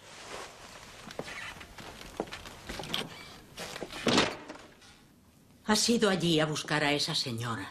Has comido a su lado. Has paseado con ella en coche descubierto. Lo ha visto toda Vetusta. Ciertos son los toros. Parece que necesitas el escándalo. Quieres perderme. Madre. No hay madre que valga. ¿Te has acordado de tu madre en todo el día? ¿No la has dejado comer sola? O mejor dicho, no comer. ¿Te importó que tu madre se asustara como era natural? ¿Y qué has hecho hasta las 10 de la noche? Madre, por Dios, yo, yo ya no soy un niño. No. A ti no te duele que tu madre se muera de impaciencia. La madre es un mueble que sirve para cuidar de la hacienda. Tu madre te da su sangre, se arranca los ojos por ti. Pero tú no eres un niño y das tu sangre y los ojos y la salvación por una mujerota. Madre, está usted insultando a una mujer honrada. No he hablado con ella tres veces. Es una santa. Es como las otras, Si la oyeran a usted. paparruchas. Si me oyeran, me callaría. Mira, Fermo, tú no te acuerdas, pero yo sí. Yo soy la madre que te parió, ¿sabes? Y te conozco, y conozco el mundo, y tengo en cuenta todo. Pero de estas cosas no podemos hablar tú y yo, ni a solas. Ya me entiendes. Pero bastante buena he sido, bastante callado, bastante he visto. Nada. ¿No ha visto usted nada? Pero he comprendido. Nunca te hablé de estas porquerías. Pero ahora parece que te complaces en que te vean. Madre. Es indecoroso que usted y yo hablemos, aunque sea en clave de ciertas cosas. Tú lo has querido. Lo de hoy ha sido un escándalo. Y lo que yo temo es que el obispo se entere de lo que ya dicen. ¿Que ya dicen? ¿En dos días? Gloucester y don Custodio. ¡Qué enemigos, Dios mío, qué enemigos! Bestias, nada más que bestias. Sí, bestias, bestias son. Pero no ves que te tienen gana, que llueve sobre mojado. Conocen al obispo, saben que solo por ahí pueden atacarte. Que le digan a Camoirán que ha robado el copón, no lo cree. Pero eso sí, acuérdate de la brigadiera. ¡Qué brigadiera, madre! ¡Qué brigadiera! Fermo, te fue bien toda la vida dejándote guiar por tu madre en estas cosas miserables de Texas abajo. ¿Te saqué yo o no de la pobreza? ¿No nos dejó tu pobre padre en la miseria y con el agua al cuello? Sí, sí, y yo eternamente... Ah, no, no, déjate de eternidades. Yo no quiero palabras. Quiero que sigas creyéndome a mí. Yo sé lo que hago. Tú predicas. Tú alucinas al mundo con tus buenas palabras y tus buenas formas. Y yo dirijo el juego. Fermo, si siempre has sido así, ¿por qué te me tuerces? ¿Por qué te me escapas? Si no hay nada, madre. Sí, sí lo hay. Ya no eres un niño, es verdad. Pero sí eres un tonto. Sí. Un tonto con toda tu sabiduría. Recuérdalo, Fermo. Yo te he hecho un hombre a costa de sacrificios, de vergüenzas de las que tú no conoces ni la mitad, de vigilias, de sudores, de cálculos, de paciencia, de astucias y hasta de pecados. De pecados también, sí. El mundo es tuyo porque eres el que tienes más talento, el más elocuente y el más sabio. Pero tú eres mi hijo y tengo derecho a exigir de ti que no malgastes todo lo que yo te he dado. Si me haces caso, podremos seguir adelante. Tú y yo.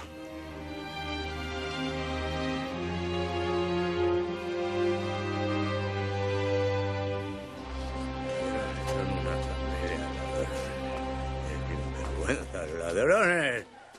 Sinvergüenzas.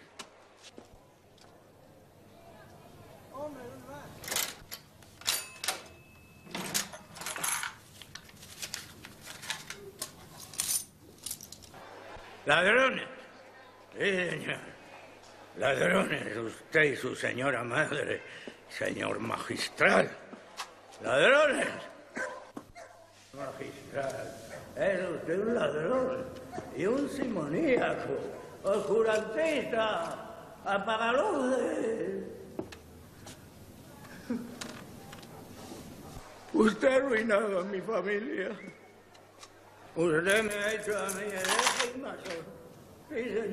Señora, es que... Calla, Froilán. Es que son santos. ¿Te crees que estoy sorda? Calla de una vez. Eso va por usted, señor magistral. No se haga usted el sordo. Por Dios, don Santos. Hola. Buenas noches, amigo. Tú eres un buen hombre y te aprecio. Pero ese carcunda, ese come ostras, ese maldito tirano de la iglesia es un ladrón. Y lo sostengo. Ay, don Santos. Ya es hora de acostarse, ¿eh? ¿Quiere que le abra la puerta de su casa? ¿Qué casa? Yo no tengo casa. Y yo les espío. Y ahora el consentido de don Froilán, Fabico, está ahí dentro echando cuentas con la madre del magistral. Ese idiota pasa por ser el ¿Quiere que vaya y- del negocio. Pero ya, ya. No es más que otro esclavo de doña Paula. Como el obispo. Como el obispo. Ella misma lo casó con su criada, que antes había dormido a cuatro pasos del magistral. Si lo sabré yo. ¡Gordas las draga, don Froilán! Ministro de Dios, ministro de un cuerno. El ministro soy yo, Santos Barinada. Honrado comerciante, que no hago la forzosa a nadie, que no robo el pan a nadie, que no obligo a todos los curas de la diócesis a comprar en mi tienda cálices, patenas, vinajeras y hasta aras. Don Santos, a la cama. No. No puedo consentir que siga usted No, escandalizando. no. ¿A dónde? Vamos. Pero, eh, hermano, déjeme, no que tengo yo ahora. Derribe usted esa puerta, señor Pepe. Usted representa la ley. Ahí dentro están contando mi dinero. Mi dinero. Ahí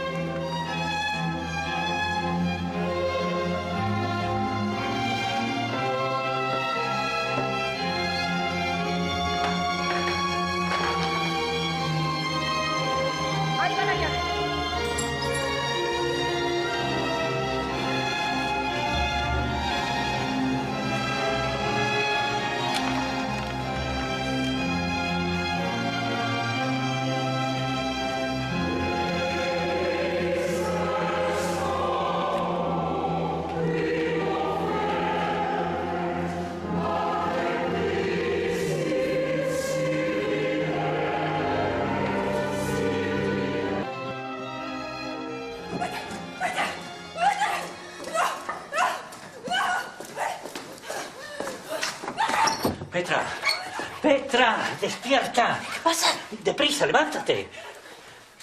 ¿Pero qué hace usted aquí, señor? No, no es lo que tú te imaginas. Pero no oyes los gritos de la señora. Es el ataque, el ataque otra vez.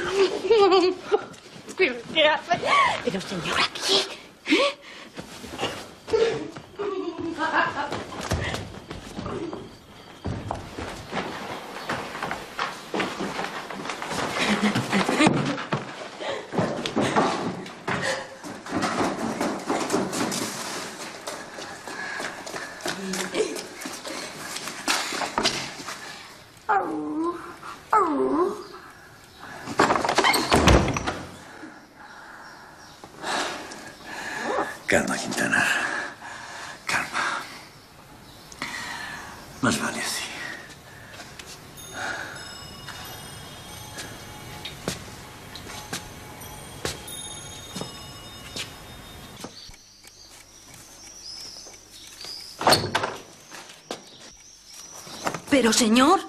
Deja eso ahora, hija. Acaba de vestirte y ve inmediatamente a buscar a don Robustiano.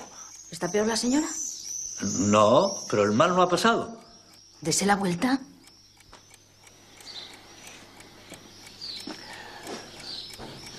Tú que eres tan lista, A ver si convences al médico para que venga cuanto antes. Yo le digo a don Robustiano lo que usted quiera. Pero si usted no se quita de ahí, no puedo terminar de vestirme. Nada. No encuentro nada de particular. Ya lo sé, ya lo sé. No tengo nada, todo está aquí. ¿Por qué no se sienta usted?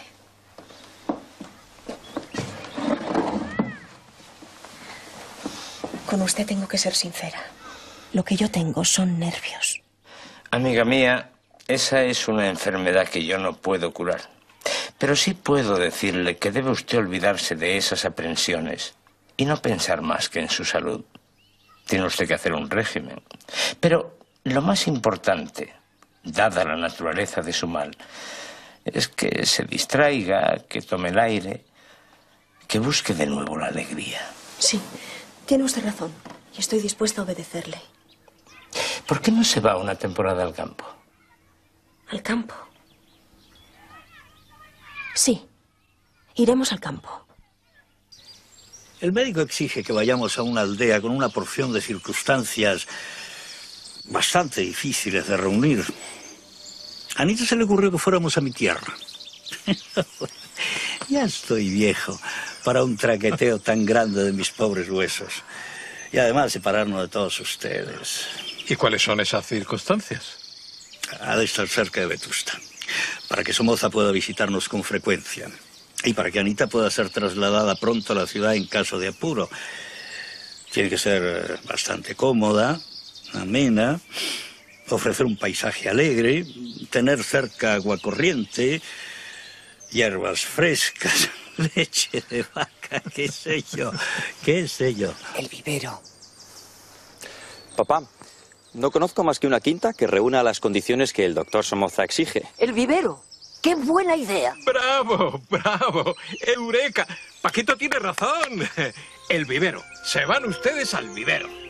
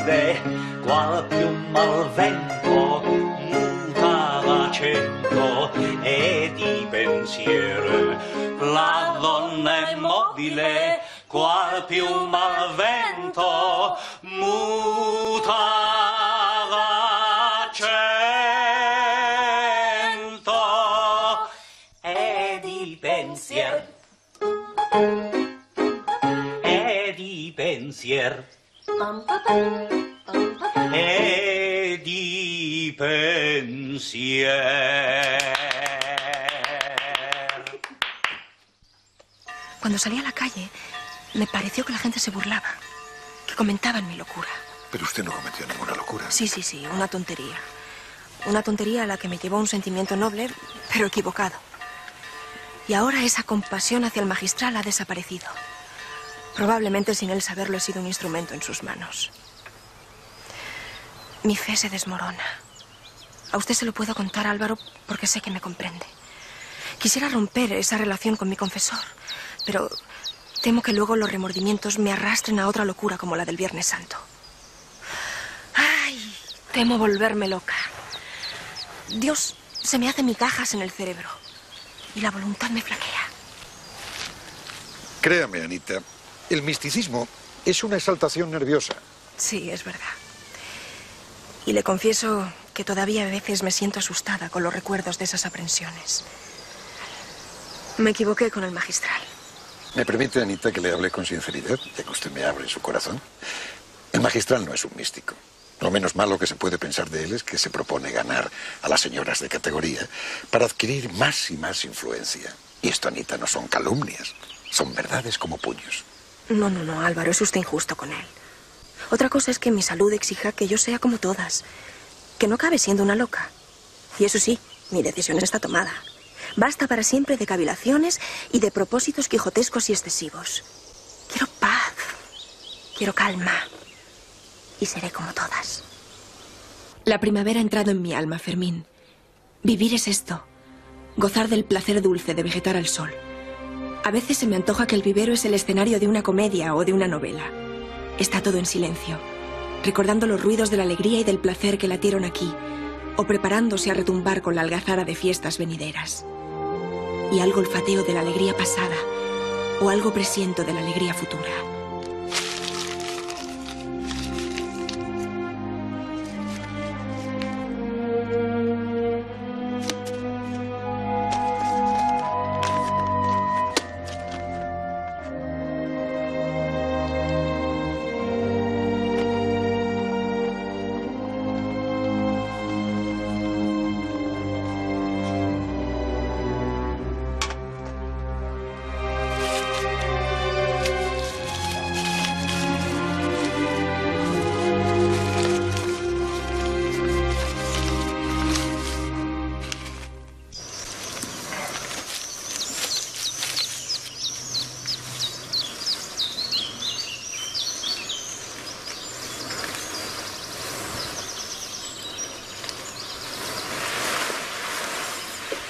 Quién es eso? Para don Álvaro. Las encargó antes de irse y yo misma lo llevaré esta tarde.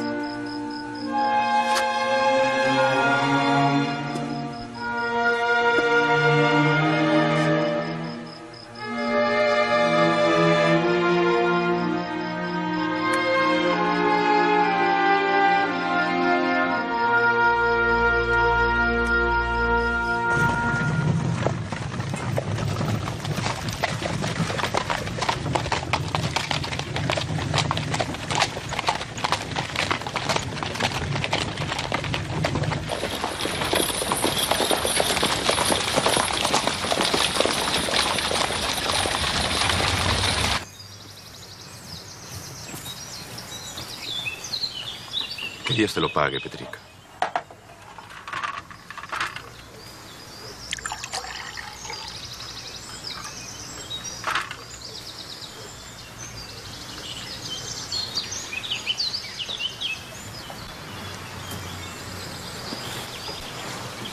¿Y tu señora qué tal está? Uy, parece otra. Tan alegre, tan, tan revoltosa. Nada de encerrarse en la capilla horas y horas. Nada de rezar siglos y siglos. Nada de leer a su Santa Teresa. Vamos, es otra. Y de salud, como un roble. El señorito Paco vino, ¿no? Sí, señor, hará un cuarto de hora. Con el señorito Álvaro. Tomaron un refresco como usted. Corrieron al pueblo al encuentro de los señores que están en misa. Vienen muy a menudo. Ya. La iglesia está cerca, creo. Saliendo por allí, por el bosque, ¿verdad? Sí, señor. Pero hay tres callejas que se cruzan y puede usted perderse. Si quiere ir, le acompañaré yo misma. Ahora no tengo nada que hacer allá adentro. Ah, muy bien. Pues si eres tan amable.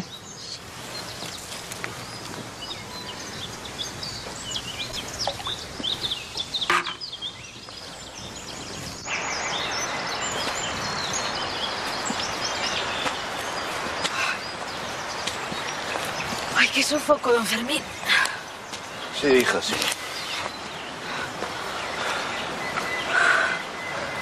Y eso que a usted, la fatiga no debe rendirle, que allá en Matalerejo tengo entendido que corre usted como un gamo. ¿Quién te lo ha dicho a ti? Teresina, Sois amigas, ¿eh? mucho. No creas. Yo aquí donde me ves soy un aldeano. Juego a los bolos que ya, ya. Mm. No, que es usted fuerte, no hace falta decirlo. Bien a la vista está. Vamos. Vamos.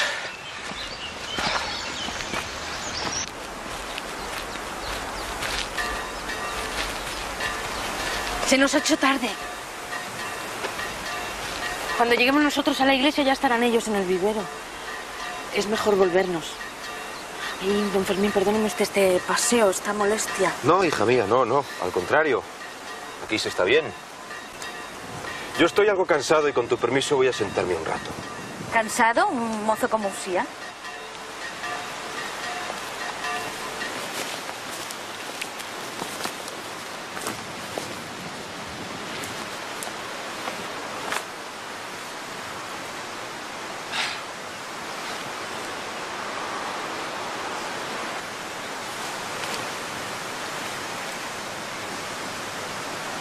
¿Qué haces ahí de pie? ¿Quieres crecer? Pues bastante buena moza eres. ¿Tienes prisa? No. Siéntate. Yo quisiera preguntarte algunas cosillas. Como usted quiera, don Fermín. Por aquí de fijo no pasa nadie. Pero si usted quiere hablar a sus anchas, allá hay una cabaña que la llaman Casa del Leñador. Allí estaremos muy cómodos. Mejor que mejor. Allí hablaremos más a gusto. Vamos allá.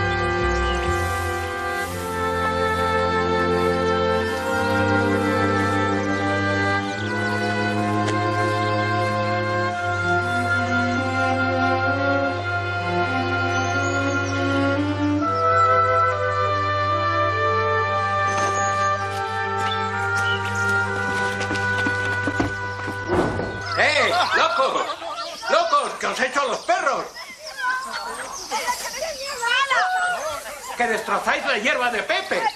¿Qué va a cenar el ganado, eh, locos?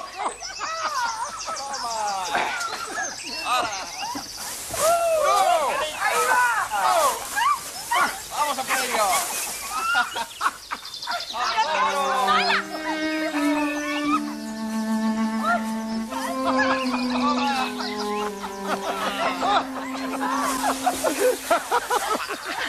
¿Ya está usted aquí, Fermín?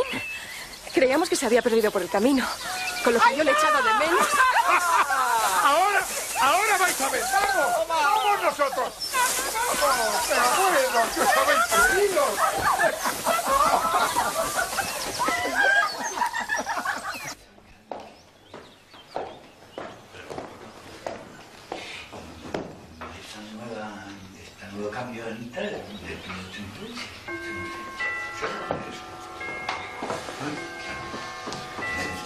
Reunión de hombres solos. Nos han abandonado y, y no crea usted que me gusta. Doña Rufina y otras señoras dijeron que se iban a dar un paseo por la vuelta. Y las demás han desaparecido sin dejar rastro. Deben andar correteando por el bosque.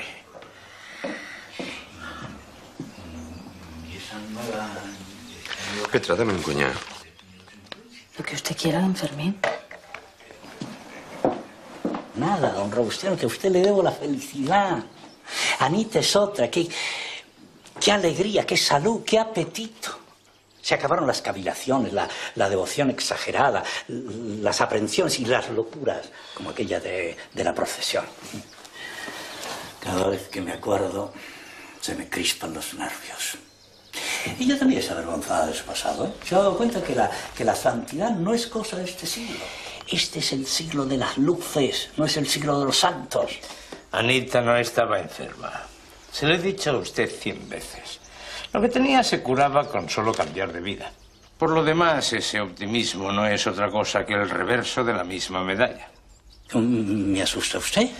Ayer era mística. Estaba enamorada del cielo. Ahora come bien, se pasea al aire libre, tiene el amor por la vida alegre y la manía de la salud. Es verdad. No habla más que de salud la pobrecita. Ella es así, viva, exaltada, necesita mucha actividad, necesita... ¿Qué necesita? Eso, un estímulo fuerte. Ella es extremosa por temperamento. De modo que usted cree que ayer era devota porque tal vez había alguien que influía en su espíritu de algún modo. Y este nuevo cambio se debe a otra influencia, según usted. Sí, señor. Es un aforismo médico. Ubi irritatio, ibi fluxus.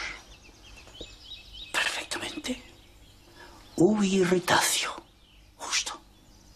Ibi fluxus. Bueno, muy bien, de acuerdo. Pero aquí, este nuevo influjo, ¿dónde está? El, el- el otro lo conozco, el jesuitismo, el clero. Pero ahora, ¿quién representa esta nueva influencia, esta nueva irritatio, diríamos? El nuevo régimen, la higiene, el vivero, usted, yo, los alimentos sanos, el aire, el heno, la brisa de la mañana, yo qué sé. Muy bien, muy A- Anita está salvada. Sí, señor. ¿Y esta nueva exageración no nos llevaría a nada malo? A nada. Santa Bárbara. A mí las tormentas me sacan de quicio. ¿Me lo va usted a decir a mí? La marquesa y las señoras están a salvo. Se han refugiado bajo la cúpula del Belvedere. ¿Y los chicos? Yo vi que se adentraban en el bosque. Se van a poner perdidos. Vamos, don Víctor. Usted que es cazador y yo que también lo soy. Al monte, al monte. Bravo, Fermín, bravo. Pero, don Fermín, por lo mismo que soy cazador, conozco el peligro. El árbol atrae al rayo. Y ahí arriba hay laurel. Y el laurel atrae la electricidad también. Si fueran pinos, pero laurel. ¿Quiere usted decir que les parta un rayo a los otros? ¿No ve que con ellos está doña Ana? No se asuste, Fermín. Los chicos se habrán refugiado en la casa del leñador que usted no conoce. Al monte, don Víctor, al monte.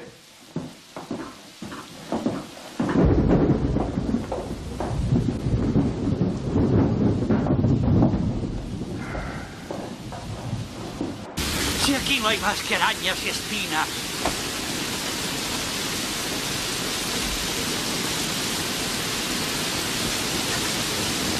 Espere usted, don Fermín.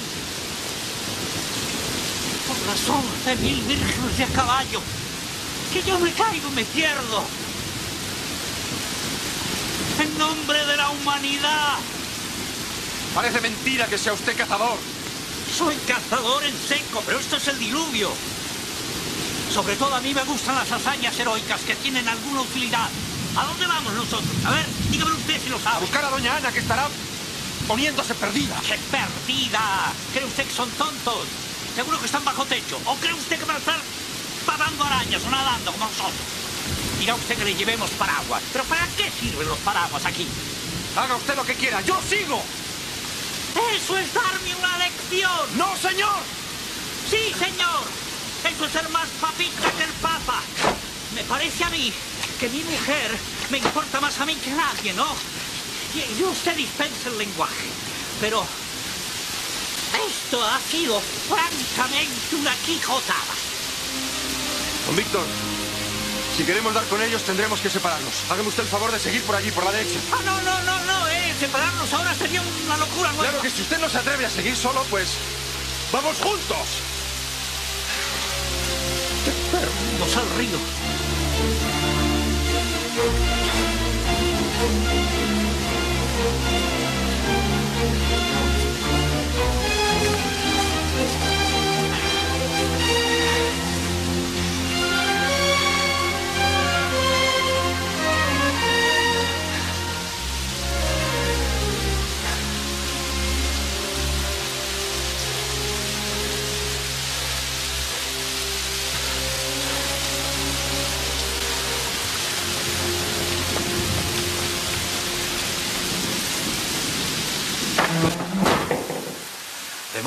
Me ha dado usted un susto.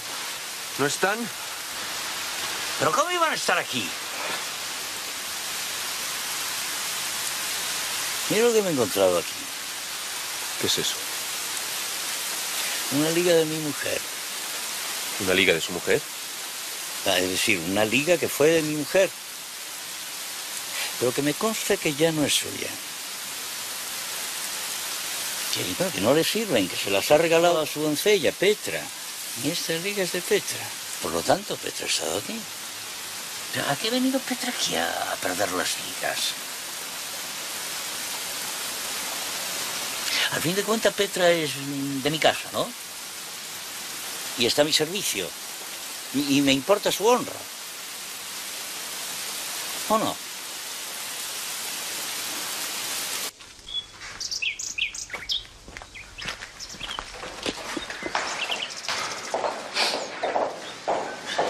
Menos mal que ya están aquí. ¿Alguna desgracia? ¿Desgracia? No, señor. Que los señoritos y las señoritas ya estaban en casa muy tranquilos cuando ustedes debían estar a mitad del monte. Apenas se ha mojado. Pero ustedes están hechos una pena. ¿Pero dónde están ahora? En casa, muertos de la risa. Menos la señora que teme por usted y por este señor cura.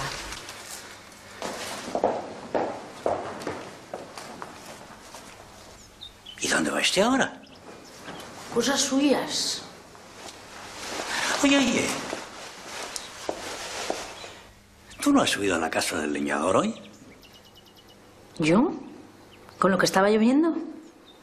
¿Para qué? Ya hablaremos tú y yo, ¿eh?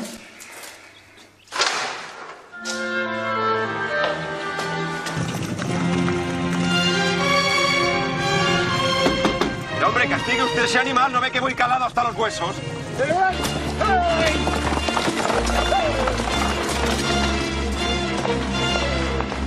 ¿Pero y don Fermín? Tu don Fermín es un botarate, hija mía. Perdona, ¿eh? Querrás darme a mí lecciones de galantería. Pareció un loco. Sí, ya me contaron. Los excesos de galantería son siempre ridículos, sobre todo en un sacerdote. Pero ¿a quién le va a importar más mi mujer? ¿A él o a mí? ¿Qué es lo que yo le tengo dicho, Anita? No hay que fiarse del provisor. Que sus intenciones son oscuras. En fin, no es más que una cuestión de celos. ¿Celos? Sí, Ana, sí. Él está enamorado de usted. Loco. Loco. Eso se lo conocí yo hace mucho tiempo. ¡Qué horror! ¡Qué asco! Amores con un clérigo. Ha sido usted muy buena con el magistral. Le ha abierto usted su alma, le ha dado su cariño, y él ha malinterpretado su generosidad. Y ahora ya no puede contenerse. Pero eso es repugnante.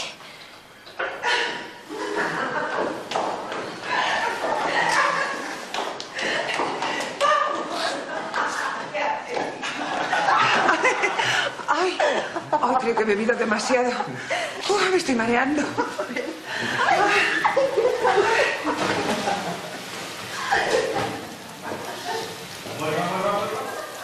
Está lloviendo otra vez.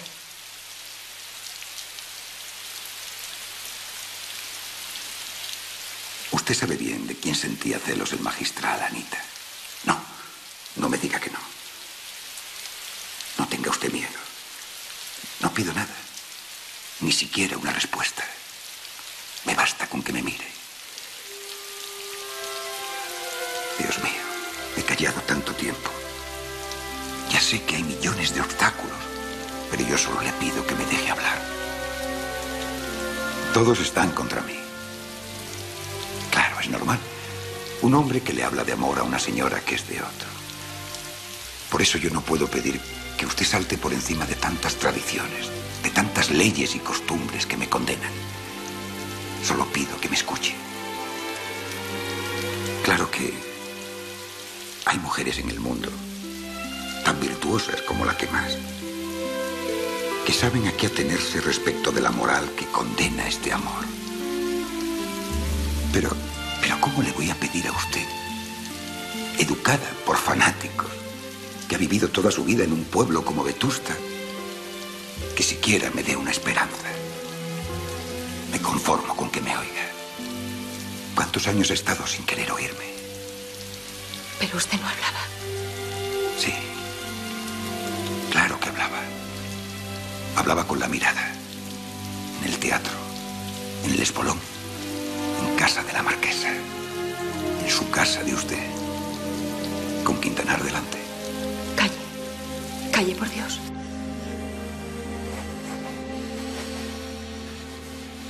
Todo es pequeño, madre. Asqueroso y bajo.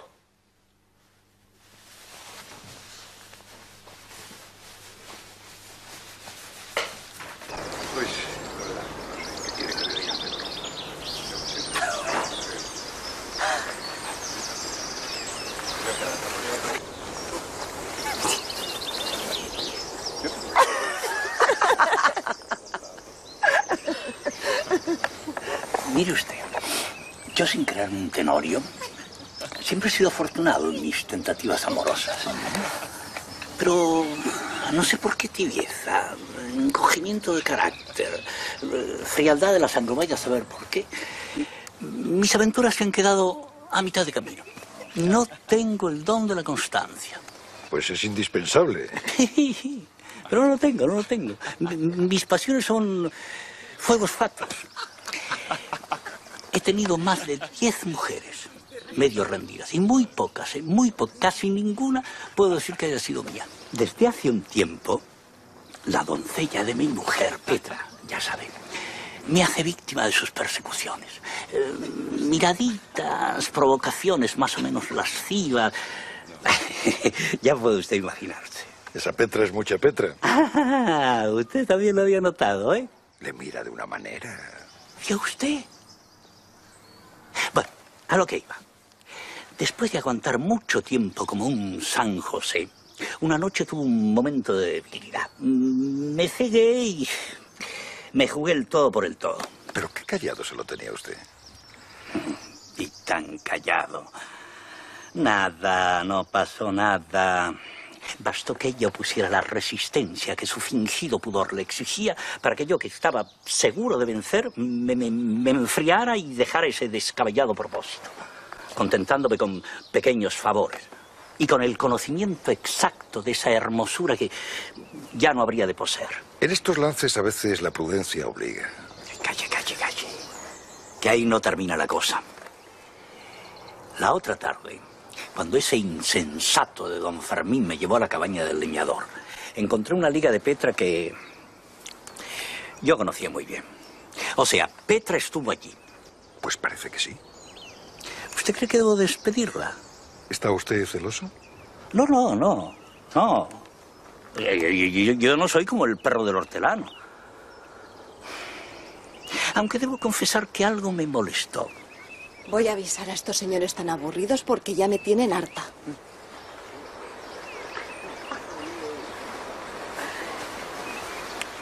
basta ya de secretitos, que les estamos esperando para jugar al pañuelo. Muy bien.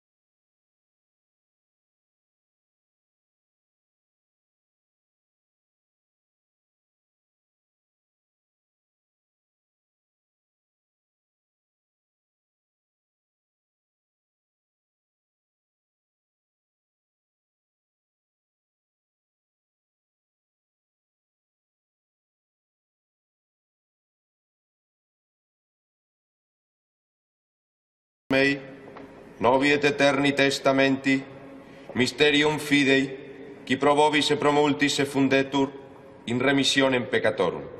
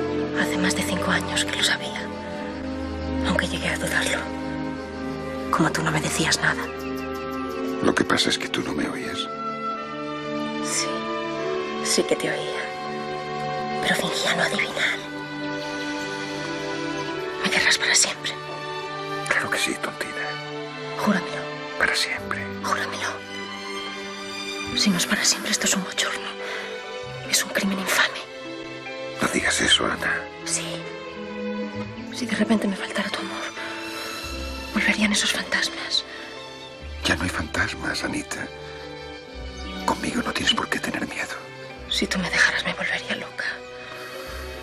Tengo miedo en mi cerebro cuando no estoy contigo. Cuando no pienso en ti.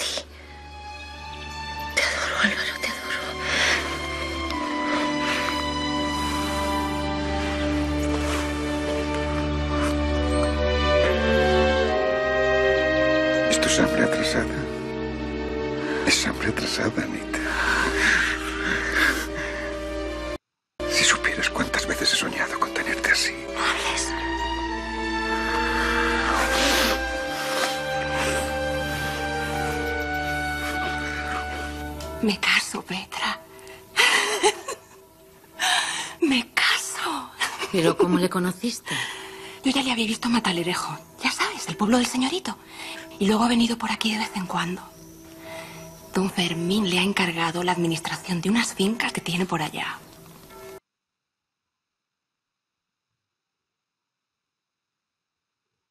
Mírala. Buen partido te llevas a tu nanta. No puedo quejarme, no. El señorito ha sido siempre muy bueno conmigo. Y muy generoso. ¿Quién anda por ahí, Teresina? Ahí le tienes. ¿Sabes lo que quiere de mí? ¿Algún recado para tu señora? Es Petra, que ya ha venido. ¿Hazla pasar?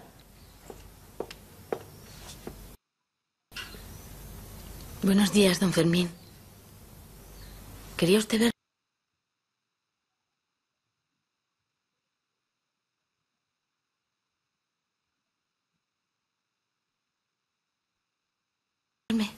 Sí.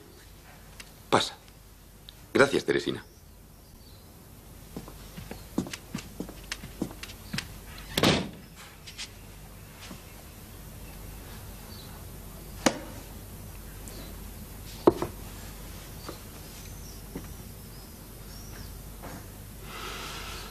Bueno, bueno. Ya sabes que Teresina se casa. Sí. ¿Y tú?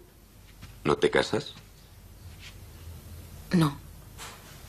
No será por falta de pretendientes.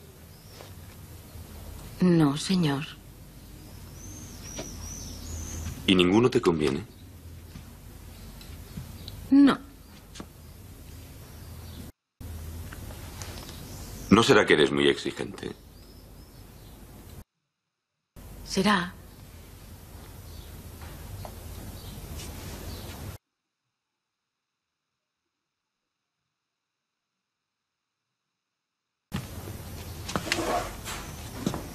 Hace mucho tiempo que no te veía.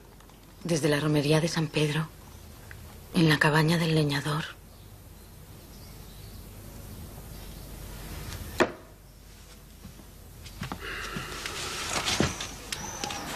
Te he mandado a llamar porque estoy preocupado con tu señora. ¿Y yo qué tengo que ver en eso? Tú podrías ayudarme y ayudarla. ¿Yo? Sí, tú.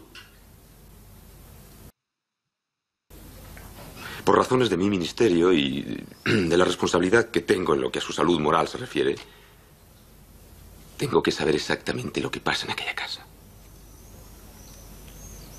O sea, que quiere usted que la espíe. ¿Me ayudarás? Yo te sabré recompensar. ¿No te gustaría venir a esta casa? ¿Ocupar la plaza de Teresina?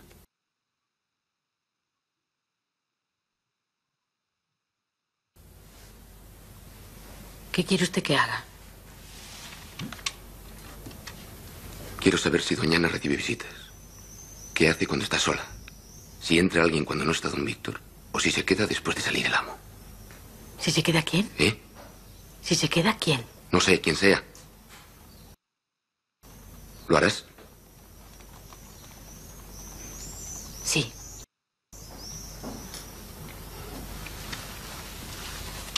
Muy bien. El día que sea necesario salir del caserón de los Ozores vendrás a esta casa. Luego yo me ocuparé de tu futuro. ¿De acuerdo?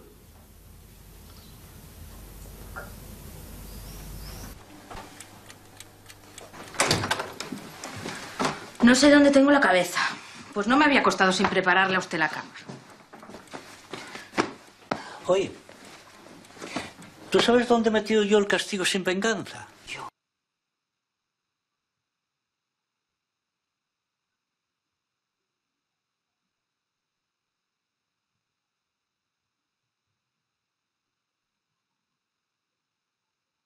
Oh, ¿Y qué voy a saber?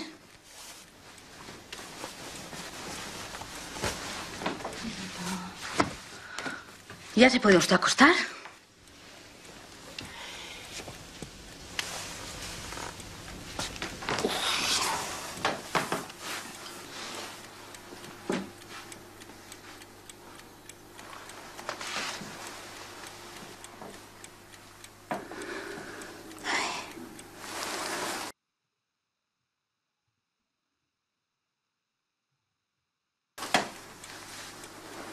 Oye, pero ¿qué hace usted, hombre de Dios? voy a hacer, hija? ¿Qué voy a hacer?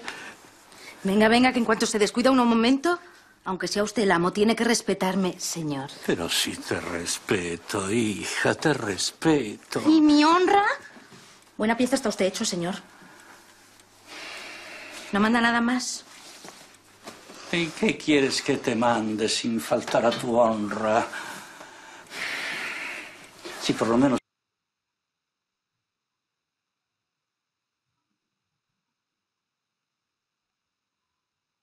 supiera dónde está el castigo sin venganza.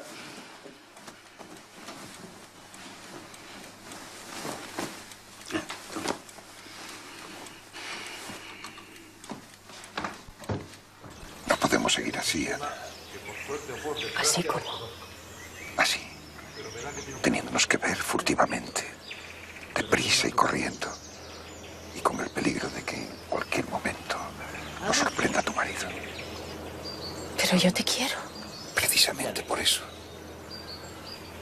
Cuando yo dudaba de que mi amor por ti fuera correspondido, me conformaba con verte así. Rozar tu mano. Mirarte a hurtadillas. Pero ahora no me conformo. Pero no podemos hacer otra cosa. Sí podemos. Yo podría buscar un rincón en donde nos podríamos ver sin estos sobresaltos. ¿Pero qué dices? ¡Qué vergüenza! Hay una solución. Todavía Tu casa. Lo que pasa ¿Aquí? es que yo no necesito... De hablar. Es lo más tranquilo, lo más seguro y lo más cómodo. No, no, no. En mi casa no. Yo entiendo tus escrúpulos, pero hay que saber vencerlos. Peor es esta inseguridad. Álvaro, por favor, no insistas. Pues tarde o temprano, esto se acabará. Si no encontramos una solución, esto se acabará. No digas eso por lo que más quieras. Si esto terminara, yo me moriría de pena. Tranquilízate. Visita está mirando. Pues se equivoca usted, señor mío. El venado cola prieta tiene mayor parecido con el venado cola blanca. Tienen color café y el trazo de la cara es exacto. Pero, pero tiene la cola negra, como el venado mula. Eso y la cornamenta en forma de trinche lo distingue del venado cola blanca.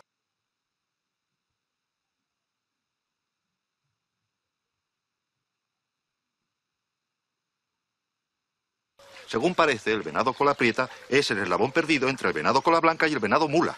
Hoy dicen ustedes unas cosas que bajan el ánimo a cualquiera. Si pudiéramos contar con la complicidad de tu doncella, todo sería más fácil. ¿De Petra? No, no, no, no, qué horror. Bueno, olvidémonos de Petra si tú quieres. Ya me las arreglaré yo solo. Para entrar aquí de noche.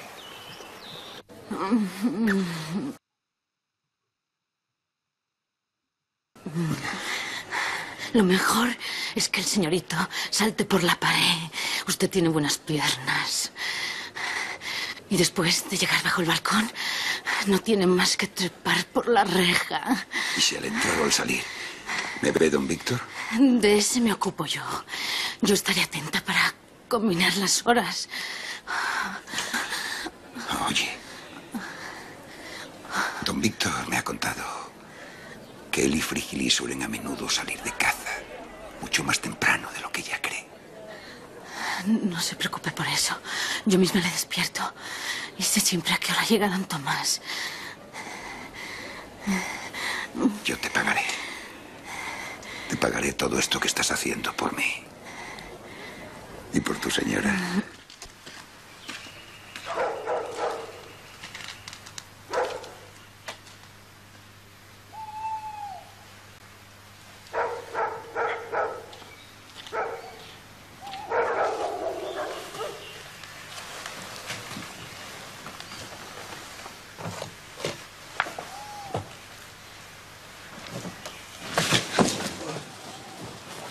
¿Se ha hecho usted daño? No, no, nada, nada. Luego le traeré un tonel viejo que hay por ahí para que pueda usted subir sin peligro de caerse cuando se vaya.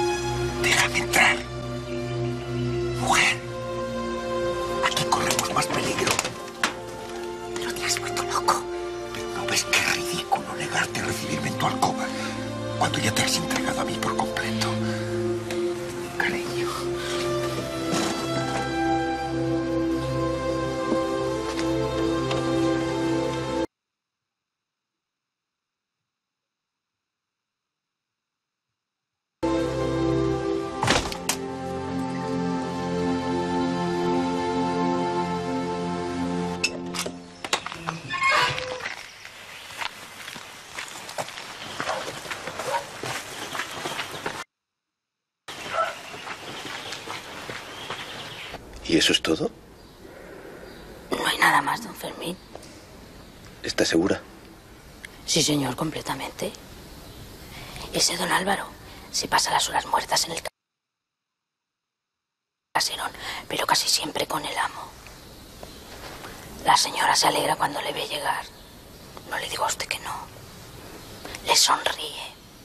Y él la mira mucho. Pero a solas, lo que se dice a solas no se queda ni un segundo.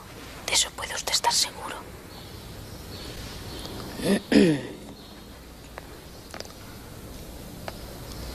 ¿Puedo marcharme ya? Espera, espera, espera. Tengo que darte la solución. Ah, sí, la solución, claro.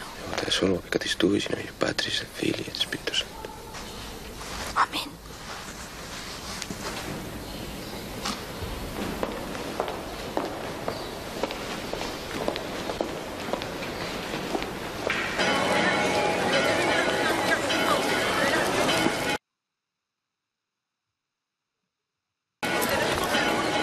¡Qué sorpresa! Te vi de lejos, pero no puedo entretenerme. Hija, ¿qué prisas? ¿Cuándo te casas? El mes que viene. Pero ya esta semana marcho para Matalerejo.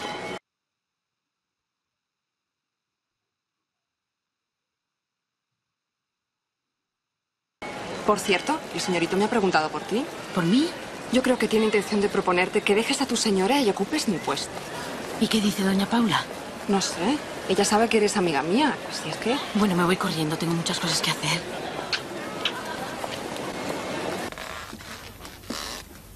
Hola, Petra. Buenos días. Eh, siéntate. Eh, Supongo que Teresina ya te habrá dicho algo, ¿no? Sí. Pues piénsatelo, porque Teresina va a salir de esta casa de un momento a otro.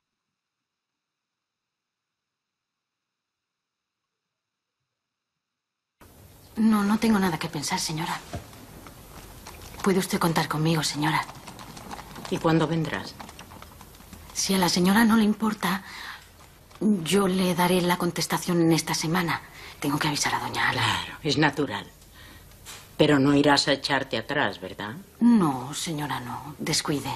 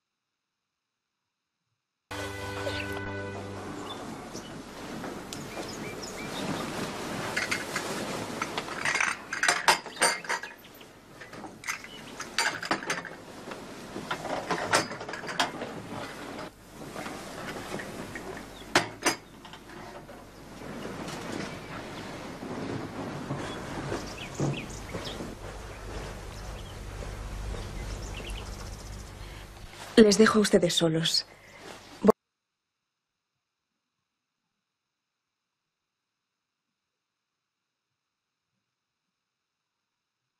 Voy a descansar un rato. Creo que he comido demasiado. Vaya, por Dios. Creí que no se marchó hoy esta muchacha. Ahora podemos hablar. Usted dirá. Actualmente todo me sonríe. Soy feliz en mi hogar, no entro ni salgo en la vida pública y ya no temo la invasión absorbente de la iglesia.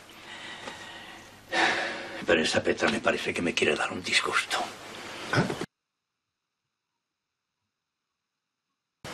¿Ha vuelto usted a las andadas? No, mm, he vuelto y no he vuelto. Quiero decir, Ha habido escarceos, explicaciones, treguas, promesas de respetar lo que esa grandísima tunanta no quiere que le respeten.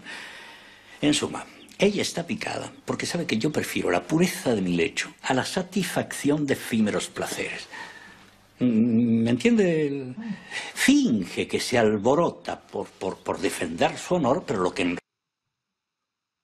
realidad le irrita es mi frialdad. ¿Pero qué es lo que hace? Comprometer la paz de esta casa, quiere dominarnos, prevaliéndose de mi situación falsa, falsísima, lo confieso. Para Anita sería un golpe terrible cualquier revelación de esa ramerilla hipócrita. ¿Pero qué es lo que hace Petra? Petra sabe que yo quiero evitar a toda costa un disgusto a mi mujer. Porque temo que cualquier crisis nerviosa lo eche todo a rodar. Un desengaño en este momento la llevaría a ella a sus antiguas cavilaciones. Y allí tendríamos otra vez al señor magistral. Y antes que eso, cualquier cosa. Hay que evitar a toda costa que Anita sepa que yo en un momento de ceguera intelectual y sensual fui capaz de solicitar los favores de esa bribona. Le comprendo muy bien. Ella quiere hacerle a usted forzosa. Necesito un consejo, Álvaro. ¿Qué hago? Calma, hombre. Calma. A Petra hay que echarla. Pero usted no se preocupe más de eso. Yo me comprometo a allanar a usted el camino.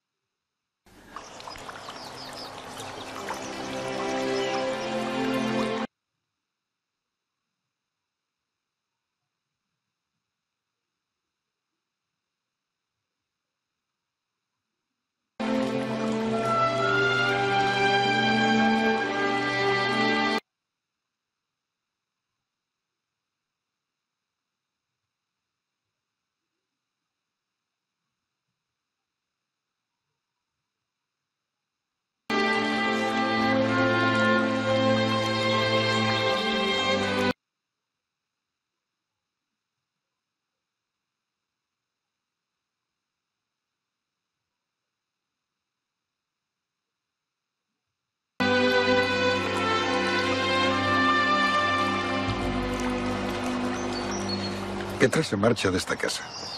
Adiós, espías. ¿Petra? ¿Que marcha Petra? Sí. Él me ha encargado que la despida. Dice que es insolente, que te trata mal. Dios mío, lo ha notado, ¿eh? Va, tontina, no te asustes.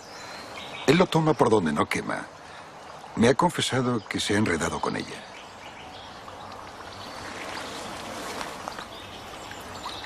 ¿Que se ha enredado con ella? Mi marido.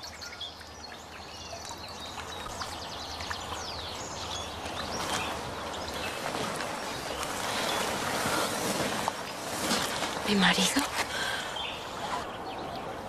A quien he sacrificado lo mejor de mi vida. ¡Qué asco! ¿No estarás celosa? No son celos. ¿Qué van a ser celos? Es asco. Y una especie de remordimiento por haber sacrificado a semejante hombre mi vida. Mi juventud. Cálmate. Lo importante es que no es lo que tú temías. Es muy probable que esa pobre chica no sospeche nada, que su atrevimiento no sea más que una amenaza al amo. Vamos, tontina. ¿Vas a llorar ahora? Ahora que estás a punto de conseguir esta felicidad que tantos años de martirio te ha costado. Vamos, mi amor.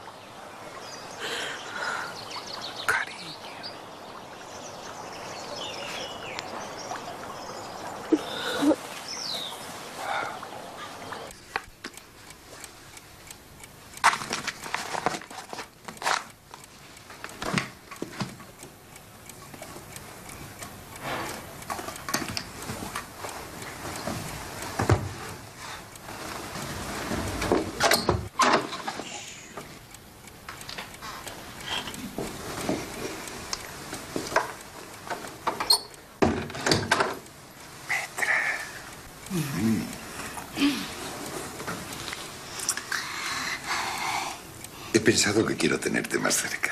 Más todavía. Además, aquí no puedes estar. El amo está furioso. Dice que tratas a la señora con altivez, con insolencia. Tontina, ya no te necesito en esta casa. Yo entro y salgo sin guías. Y he pensado que vengas de doncella a la fonda. ¿Qué dices? Señorito, no necesita apurarse tanto para convencerme de que debo irme de esta casa. Pero, hija, si lo tomas por donde quema, no insisto. No, señor, si es que no me deja usted explicarme. Si yo quiero salir de aquí, pero en cuanto a lo de irme a la fonda, no, señor. Una cosa es que una tenga sus caprichos y otra cosa es que a una la regalen los amigos y la lleven y la traigan. Pero, Petrica, si no es eso, es por tu bien. Pero quédese usted tranquilo. Yo misma pediré esta noche el sueldo y me iré tan contenta. Pero no a la fonda, sino a otra casa. Una proporción que tengo y que no puedo decir todavía cuál es. Por lo demás, tan amigos. Y si el señorito me necesita, ya le diré dónde puede encontrarme. Porque la ley es ley. Y en lo tocante a callar, un sepulcro. Lo que yo he hecho ha sido por afición a una persona. Que no hay por qué ocultarlo. Y por lástima de otra casada con un viejo chocho inútil y chiflao, que es una compasión. Y ahora márchese. Ya sabe dónde me tiene.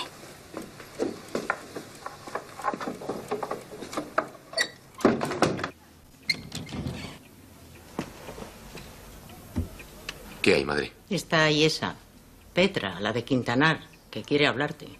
¿Hablarme? ¿Tan temprano qué hora es? Las nueve. Dice que es cosa urgente. Parece asustada. Le tiembla la voz.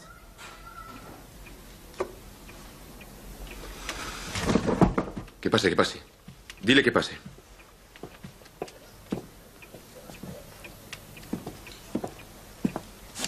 Entra.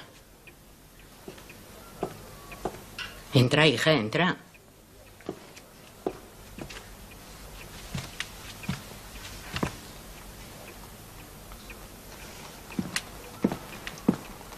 ¿Qué hay?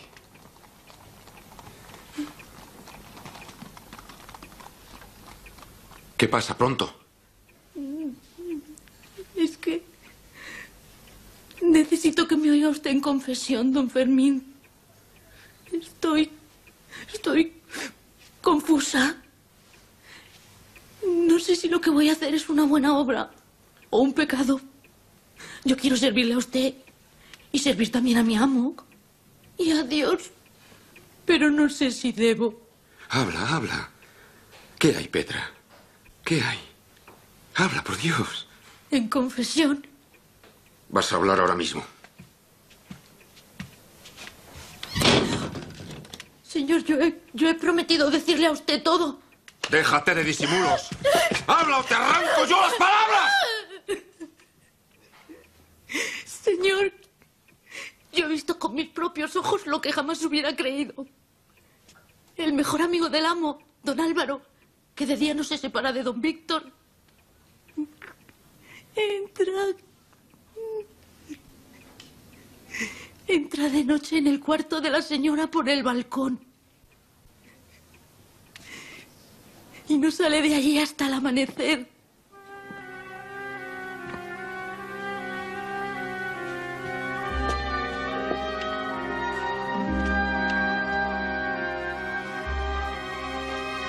Primera noche que lo vi, creí que estaba soñando, pero era verdad.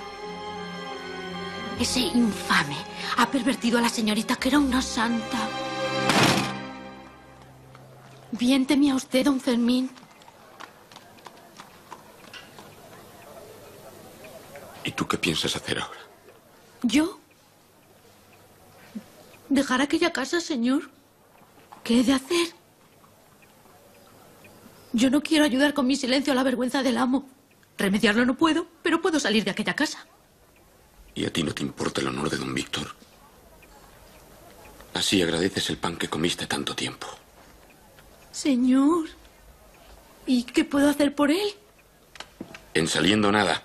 Pues me echan. ¿Quién, ellos? Sí, ellos. Ayer el señorito Álvaro, que es el que manda allí, porque el amo está ciego y solo ve por sus ojos, el señorito Álvaro me puso de patitas en la calle. Y no tuve más remedio que hacer la maleta. Ya me he despedido. El señor Mesía me ofreció colocación en la fonda. Pero yo prefiero quedar en la calle. Vendrás a esta casa, Petra.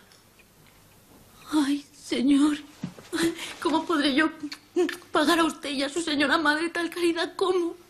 No lo hago por ti, muchacha. Me guían sagrados intereses.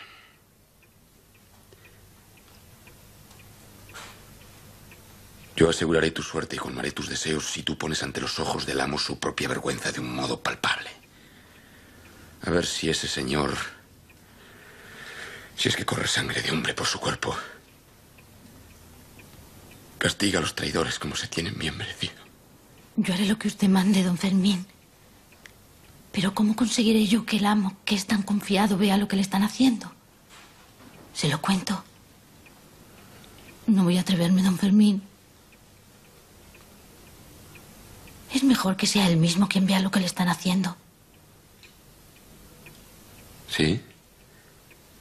¿Eso es lo mejor? Sí. ¿Y tú sabrás hacerlo?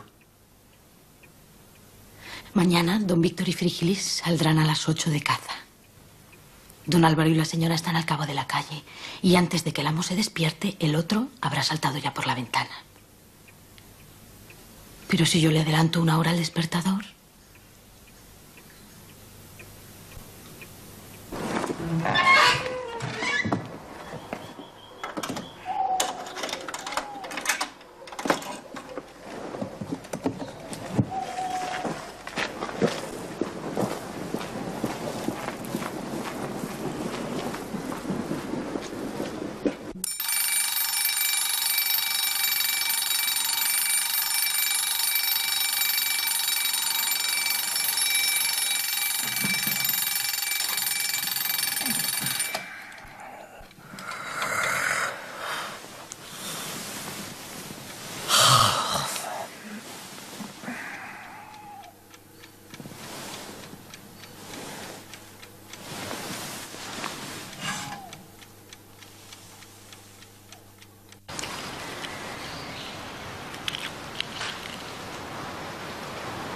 lo habrán adelantado.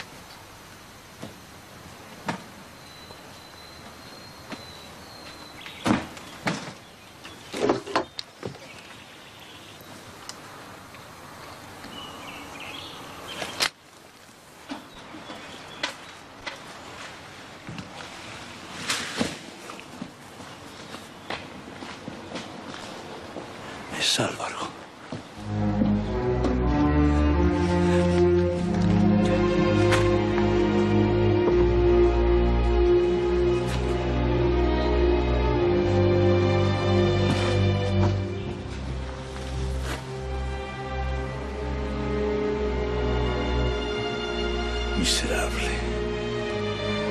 Debí matarle.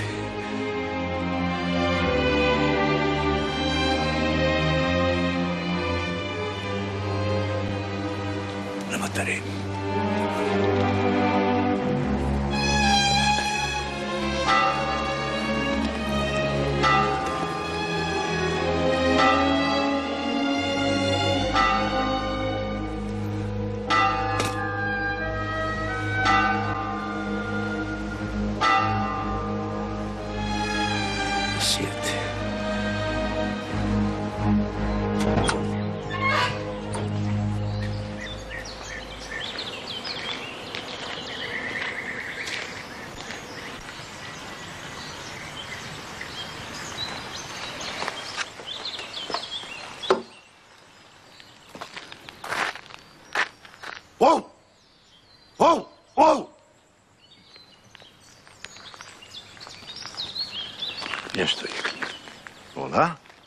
Parece que se ha madrugado.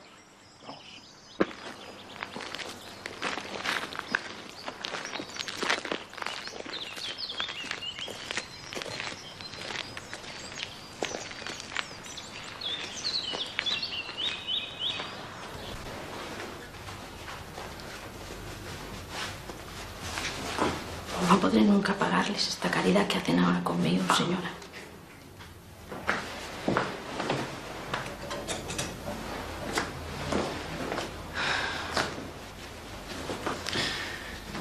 Como usted comprenderá, sabiendo lo que esos dos le estaban haciendo al amo, no podía quedarme allí ni un minuto más.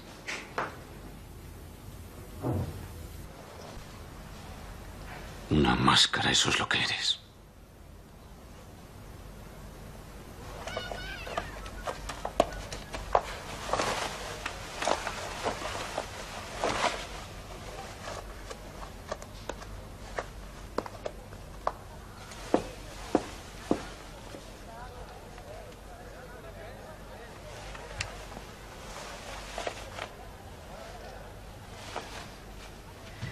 ¿Le ha visto así alguna vez la señora regenta?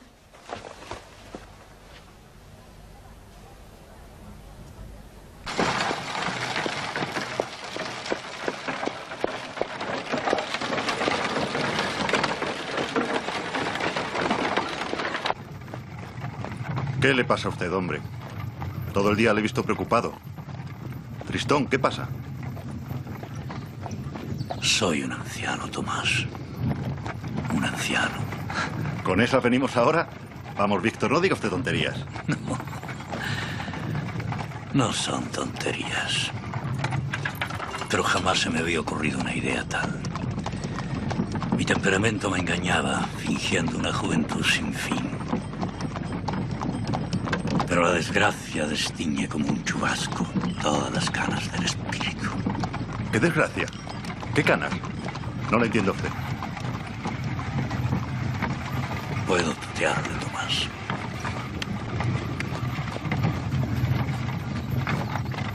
Ana me engaña. Yo mismo lo he visto con estos ojos.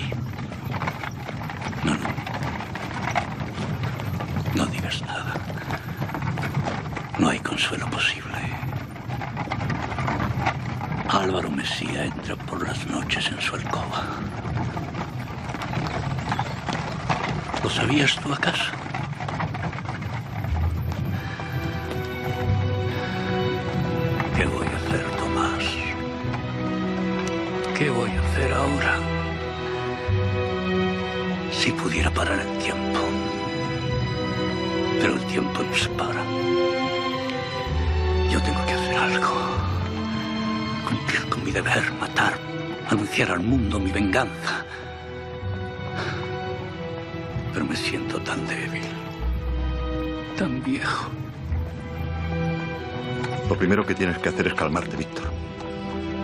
Y no pensar ahora en deberes ni en venganzas. Aquí me tienes. Ahora no es Perales el que trabaja, ¿eh? Soy yo. No es Calderón el que inventa casos de honra. Es la vida. Es mi drama de capa y espada. Pero ¿cómo podía yo recrearme en aquellas tristezas cuando me eran ajenas? Si me duelen tanto ahora cuando son propias.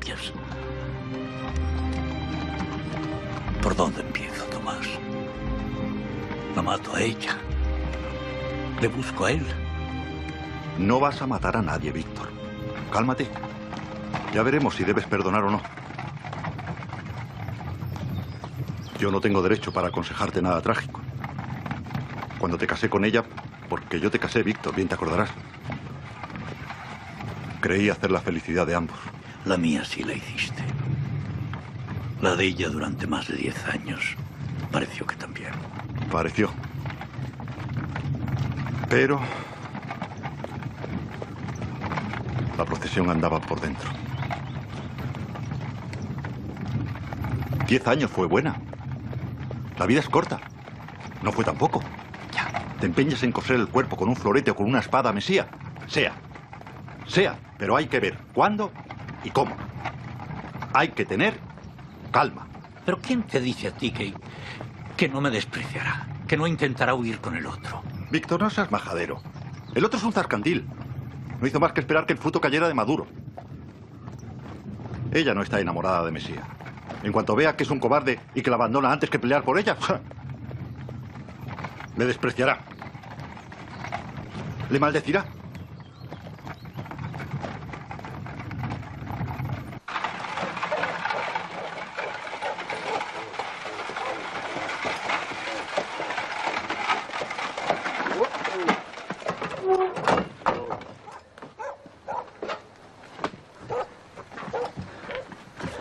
Digas lo que digas, ella me vende. Te vende, te vende. Si armas una escena de honor ultrajado, enseguida hay una de entierro. Caramba, Tomás. Dices las cosas de un modo. La verdad. Pero en último caso, si tan ciego te ves, si no puedes atender a razones ni a tu conciencia, llama, sube, alborota, quema la casa.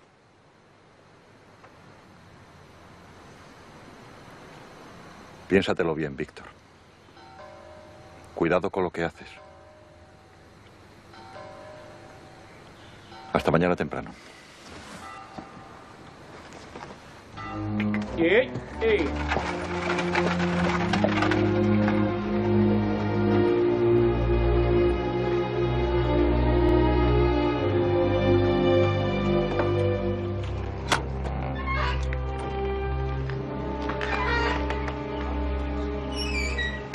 Mi señor don Víctor. ¿Pero dónde sale usted? Menudo susto me ha dado. ¿Se puede saber qué quiere?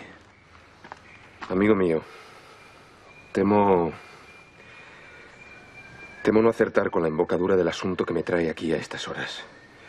Que es espinoso y, por desgracia, de poco agradable acceso. ¿Qué pasa, don Fermín, por los clavos de Cristo? De Cristo tengo que hablarle yo a usted también. Y de sus clavos, y de sus espinas, y de la cruz. Por compasión. En su despacho, en su despacho.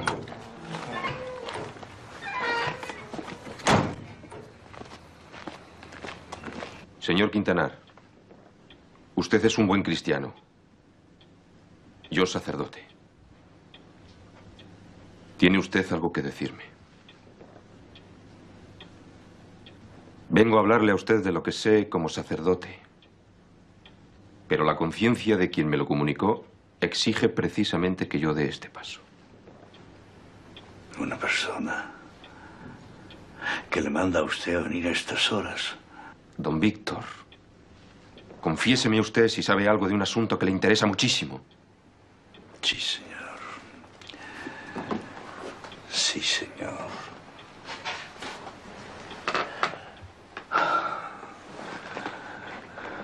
Hoy sé algo que no sabía ayer y que me importa muchísimo, más que mi vida. Pero si usted no habla claro, yo.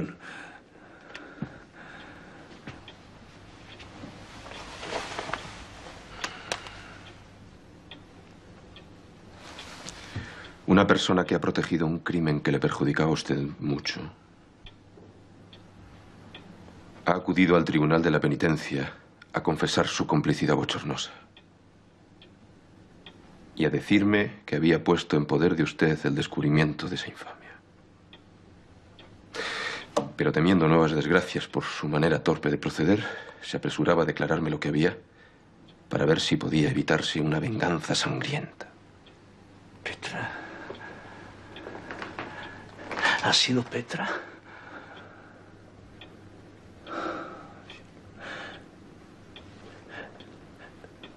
Esta mujer ha divulgado mi deshonra.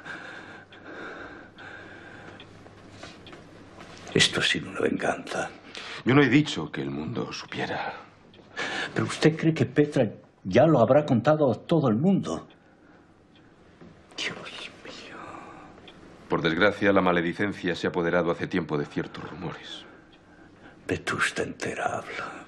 Por desgracia, hace meses ya. Desde el verano.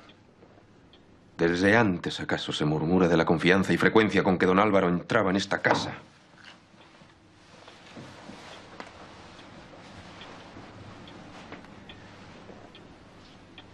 Conozco bien las exaltadas ideas de usted respecto al honor. Y temía que, obedeciendo a impulsos disculpables, se arrojase usted a tomar venganza terrible. sobre todo de don Álvaro, cuyo crimen, hay que reconocerlo así, no puede ser más repugnante y digno de castigo. Dios mío.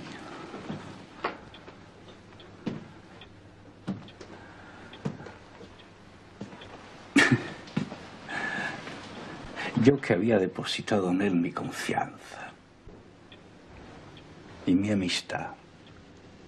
Pero amigo mío, aunque yo como hombre y hombre de experiencia me explico y disculpo la vehemente cólera que debe dominar a usted, en cuanto sacerdote de una religión de paz y perdón, tengo que aconsejar la suavidad.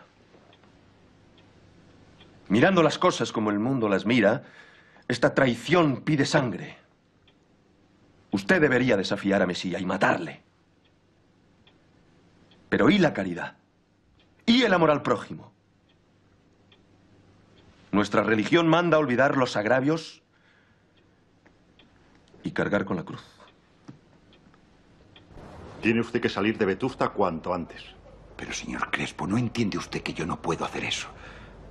Quintanar y todo Vetusta pensarán que me voy por miedo, por cobardía. Ya le he contado a usted que don Víctor pudo matarle de un tiro esta mañana y no lo hizo. No estire usted más la cuerda que bastante desgracia ha provocado ya con su comportamiento.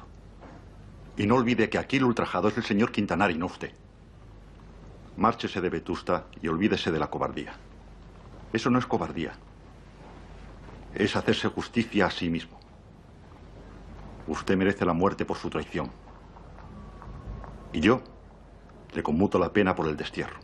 Está bien. Mañana mismo tomaré el tren para Madrid. Tiene usted mi palabra. Está bien, está bien, señor magistral. No haré ningún disparate. Meditaré sobre lo que usted me ha dicho y procuraré armonizar las exigencias de mi honor y lo que la religión pide. ¿Mm? Y ahora váyase. Hágame usted el favor, váyase. Conozco bien el desprecio que el mundo arroja sobre el marido que perdona. La sociedad es injusta con los tolerantes. Miserable. Aprovecharse de mi amistad. De la debilidad de una mujer enferma. No hay perdón posible. Cálmese.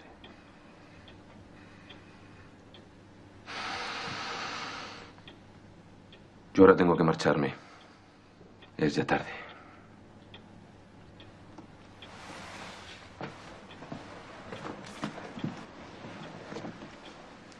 Exijo a usted como padre espiritual que he sido y que creo que soy todavía de usted, que si esta noche sorprendiera un nuevo atentado, es decir, si ese infame que ignora que usted lo sabe todo volviera esta noche, yo sé que es mucho pedir, pero un asesinato no tiene jamás disculpa a los ojos de Dios, aunque la tengan los del mundo. Nada de sangre, en nombre de la que vertió por todos el crucificado.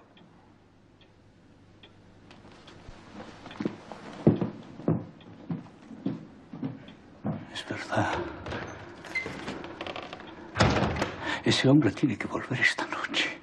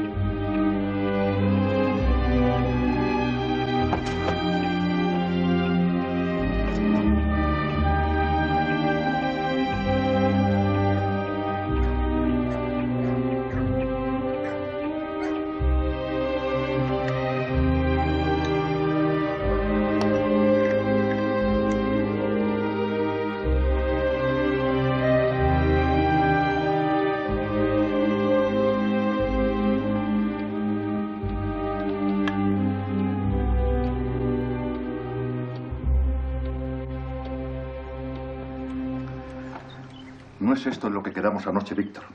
Podías haberme consultado antes de llamar a este señor. El señor Ronzal será un buen padrino. No pongo en duda la idoneidad del señor Ronzal en este trance. No me refiero a eso, Víctor, y tú lo sabes muy bien. Esta decisión es un error. Además, Mesía me ha prometido marcharse hoy mismo de Vetusta. ¿Y mi honra? Deja en paz tu honra y piensa con la cabeza. Mesía tiene miedo. Siempre lo ha tenido. Si tiene miedo, mejor que mejor. Ni un día se ha de aplazar esto. Ya que mi deshonra es pública, que la reparación lo sea también. Y además terrible y rápida. Pero si tienes fiebre, si estás malo. No importa. Mejor. Si ustedes no van a desafiar a ese hombre, me levanto y busco yo mismo otros padrinos. Ya veremos si pueden conmigo los truenos y las tormentas.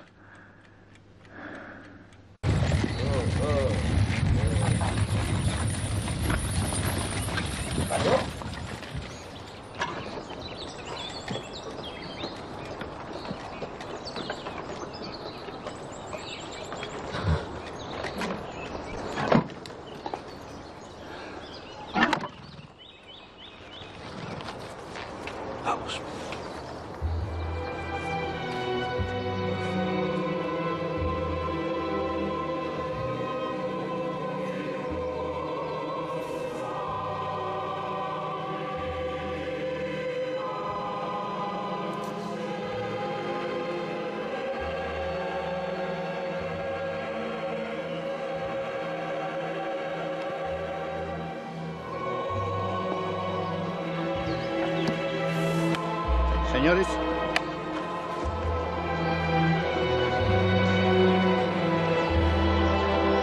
Quince pasos, pudiendo avanzar tres cada cual. Disparará primero el agraviado, teniendo luego su oportunidad el ofensor. Daré tres palmadas y en los intervalos pueden ustedes apuntar. A la voz de mando deben ustedes disparar. Juro por mi honor que no consentiré ningún simulacro de desafío. ¿Tienen ustedes alguna otra cosa que añadir? Dense ustedes la mano.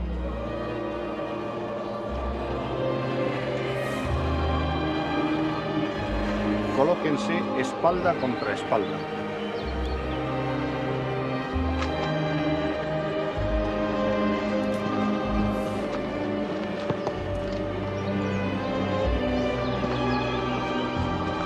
Cuenten los 15 pasos. Ya.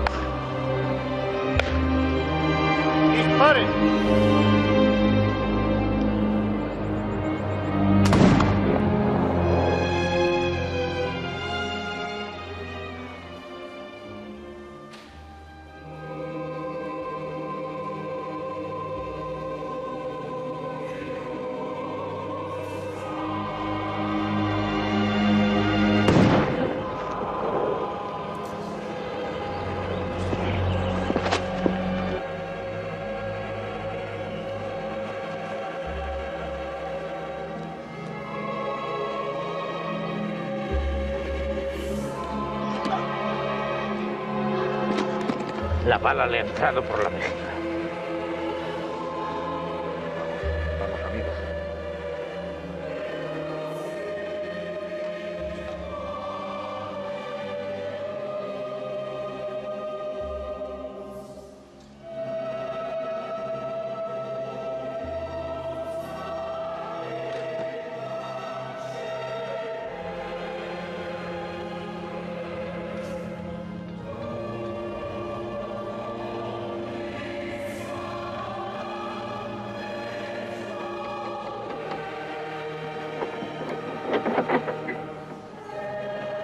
Víctor, que viene malherido. Venga, venga, venga. Agua caliente, que preparen agua caliente.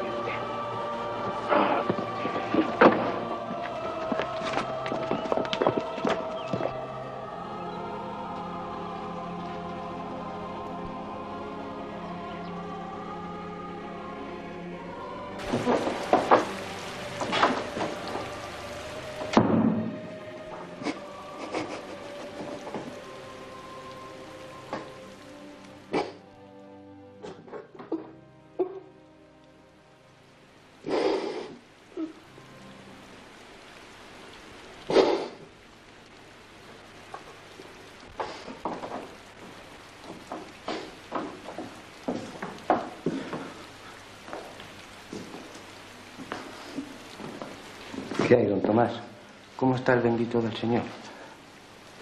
La vejiga llena. Perictonitis de no sé quién. Eso dicen ellos.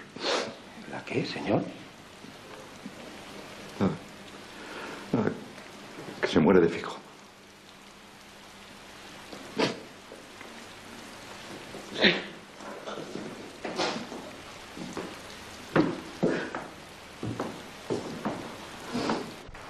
No tiene que preocuparse, Ana. Solo está herido. Y hemos considerado más pertinente no moverlo de Palomares. ¿Pero herido dónde? Es grave. No, no, no. Se le disparó la escopeta, pero está bien. Ay, quiero verle. Lléveme ahora mismo a No puede Palomares. ser, no puede ser. Hasta mañana no hay tren. Pues un coche. Ana. Se me engaña. Si eso fuera cierto, usted estaría a su lado. No, ¿por qué? Pensé que estaría intranquila, por eso estoy aquí. No le creo. Me voy a buscarle. Escúcheme, Ana, Ana, escúcheme. Escúcheme. No tiene que ir usted a ningún sitio. Víctor muerto esta tarde. Fue un accidente de caza.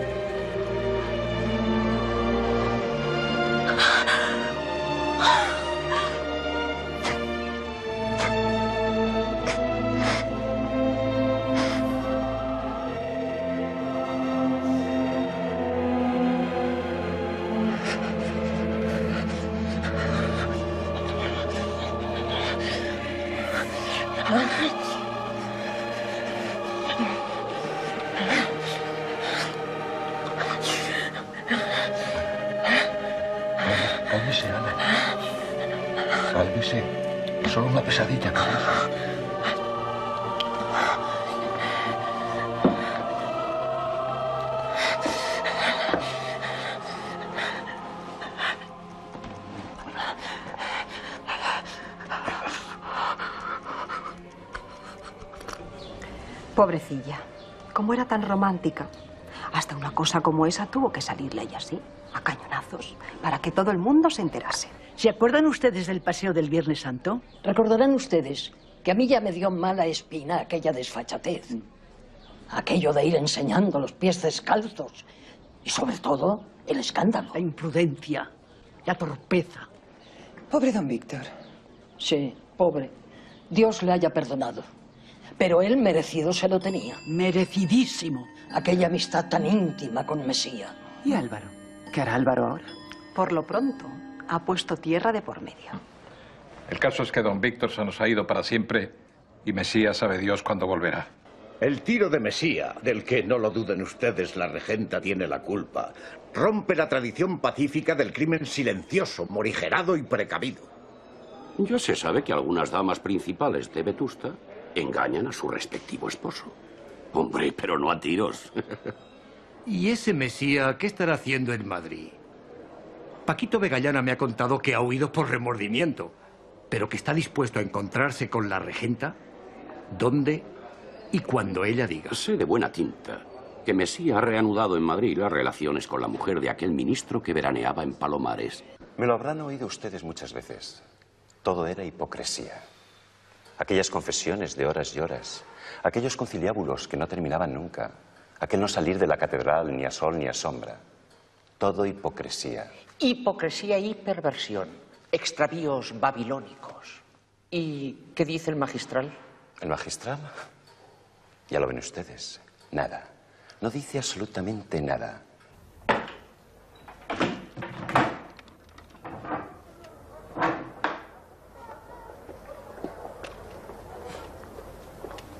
Fermo, 35 años.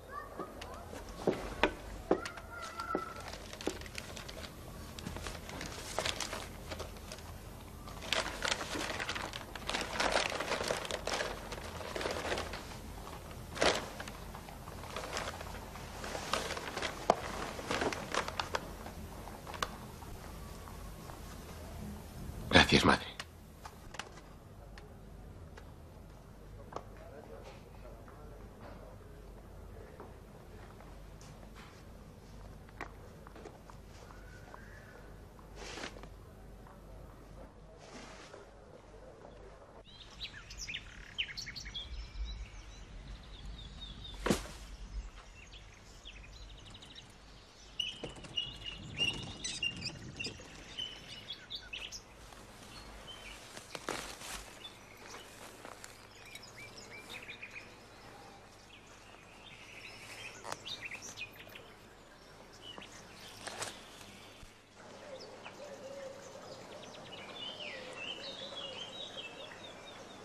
Tomás, yo quisiera salir de esta casa. Ah, esa es una buena idea. Pensaba yo proponer a usted que saliéramos mañana a dar un paseo por el pueblo. No me refiero a eso. Quiero buscar otro sitio donde vivir. Esta casa en rigor no es mía. Es de los herederos de Víctor, de, de su hermana, doña Paquita, que tiene hijos. ¿Pero en qué cabeza cabe? Además, ya me he ocupado yo. ¿Usted? ¿De qué se ha ocupado? El caserón ahora es de usted. Legalmente y moralmente. Es más, mañana le traeré a usted los documentos que he preparado para pedir la viudedad que le corresponde. Primero morir de hambre. Es que si no solicita usted sus derechos pasivos, se va a morir de hambre de verdad. Prefiero reclamar la orfandad por ser hija de militar. Va, va, va, va. Échele usted un galgo. Además, si eso no valdrá nada, Pues eso yo no lo firmo. pues yo lo firmaré por usted.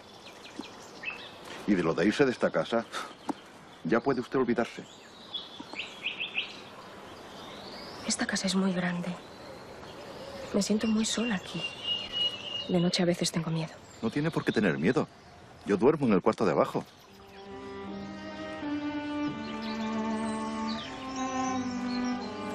Hace ya muchos meses. Cuando usted cayó enferma,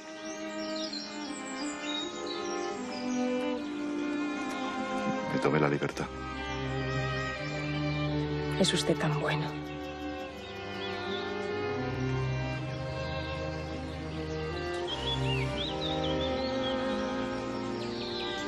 Hoy tampoco ha venido nadie. No necesitamos a nadie, Ana.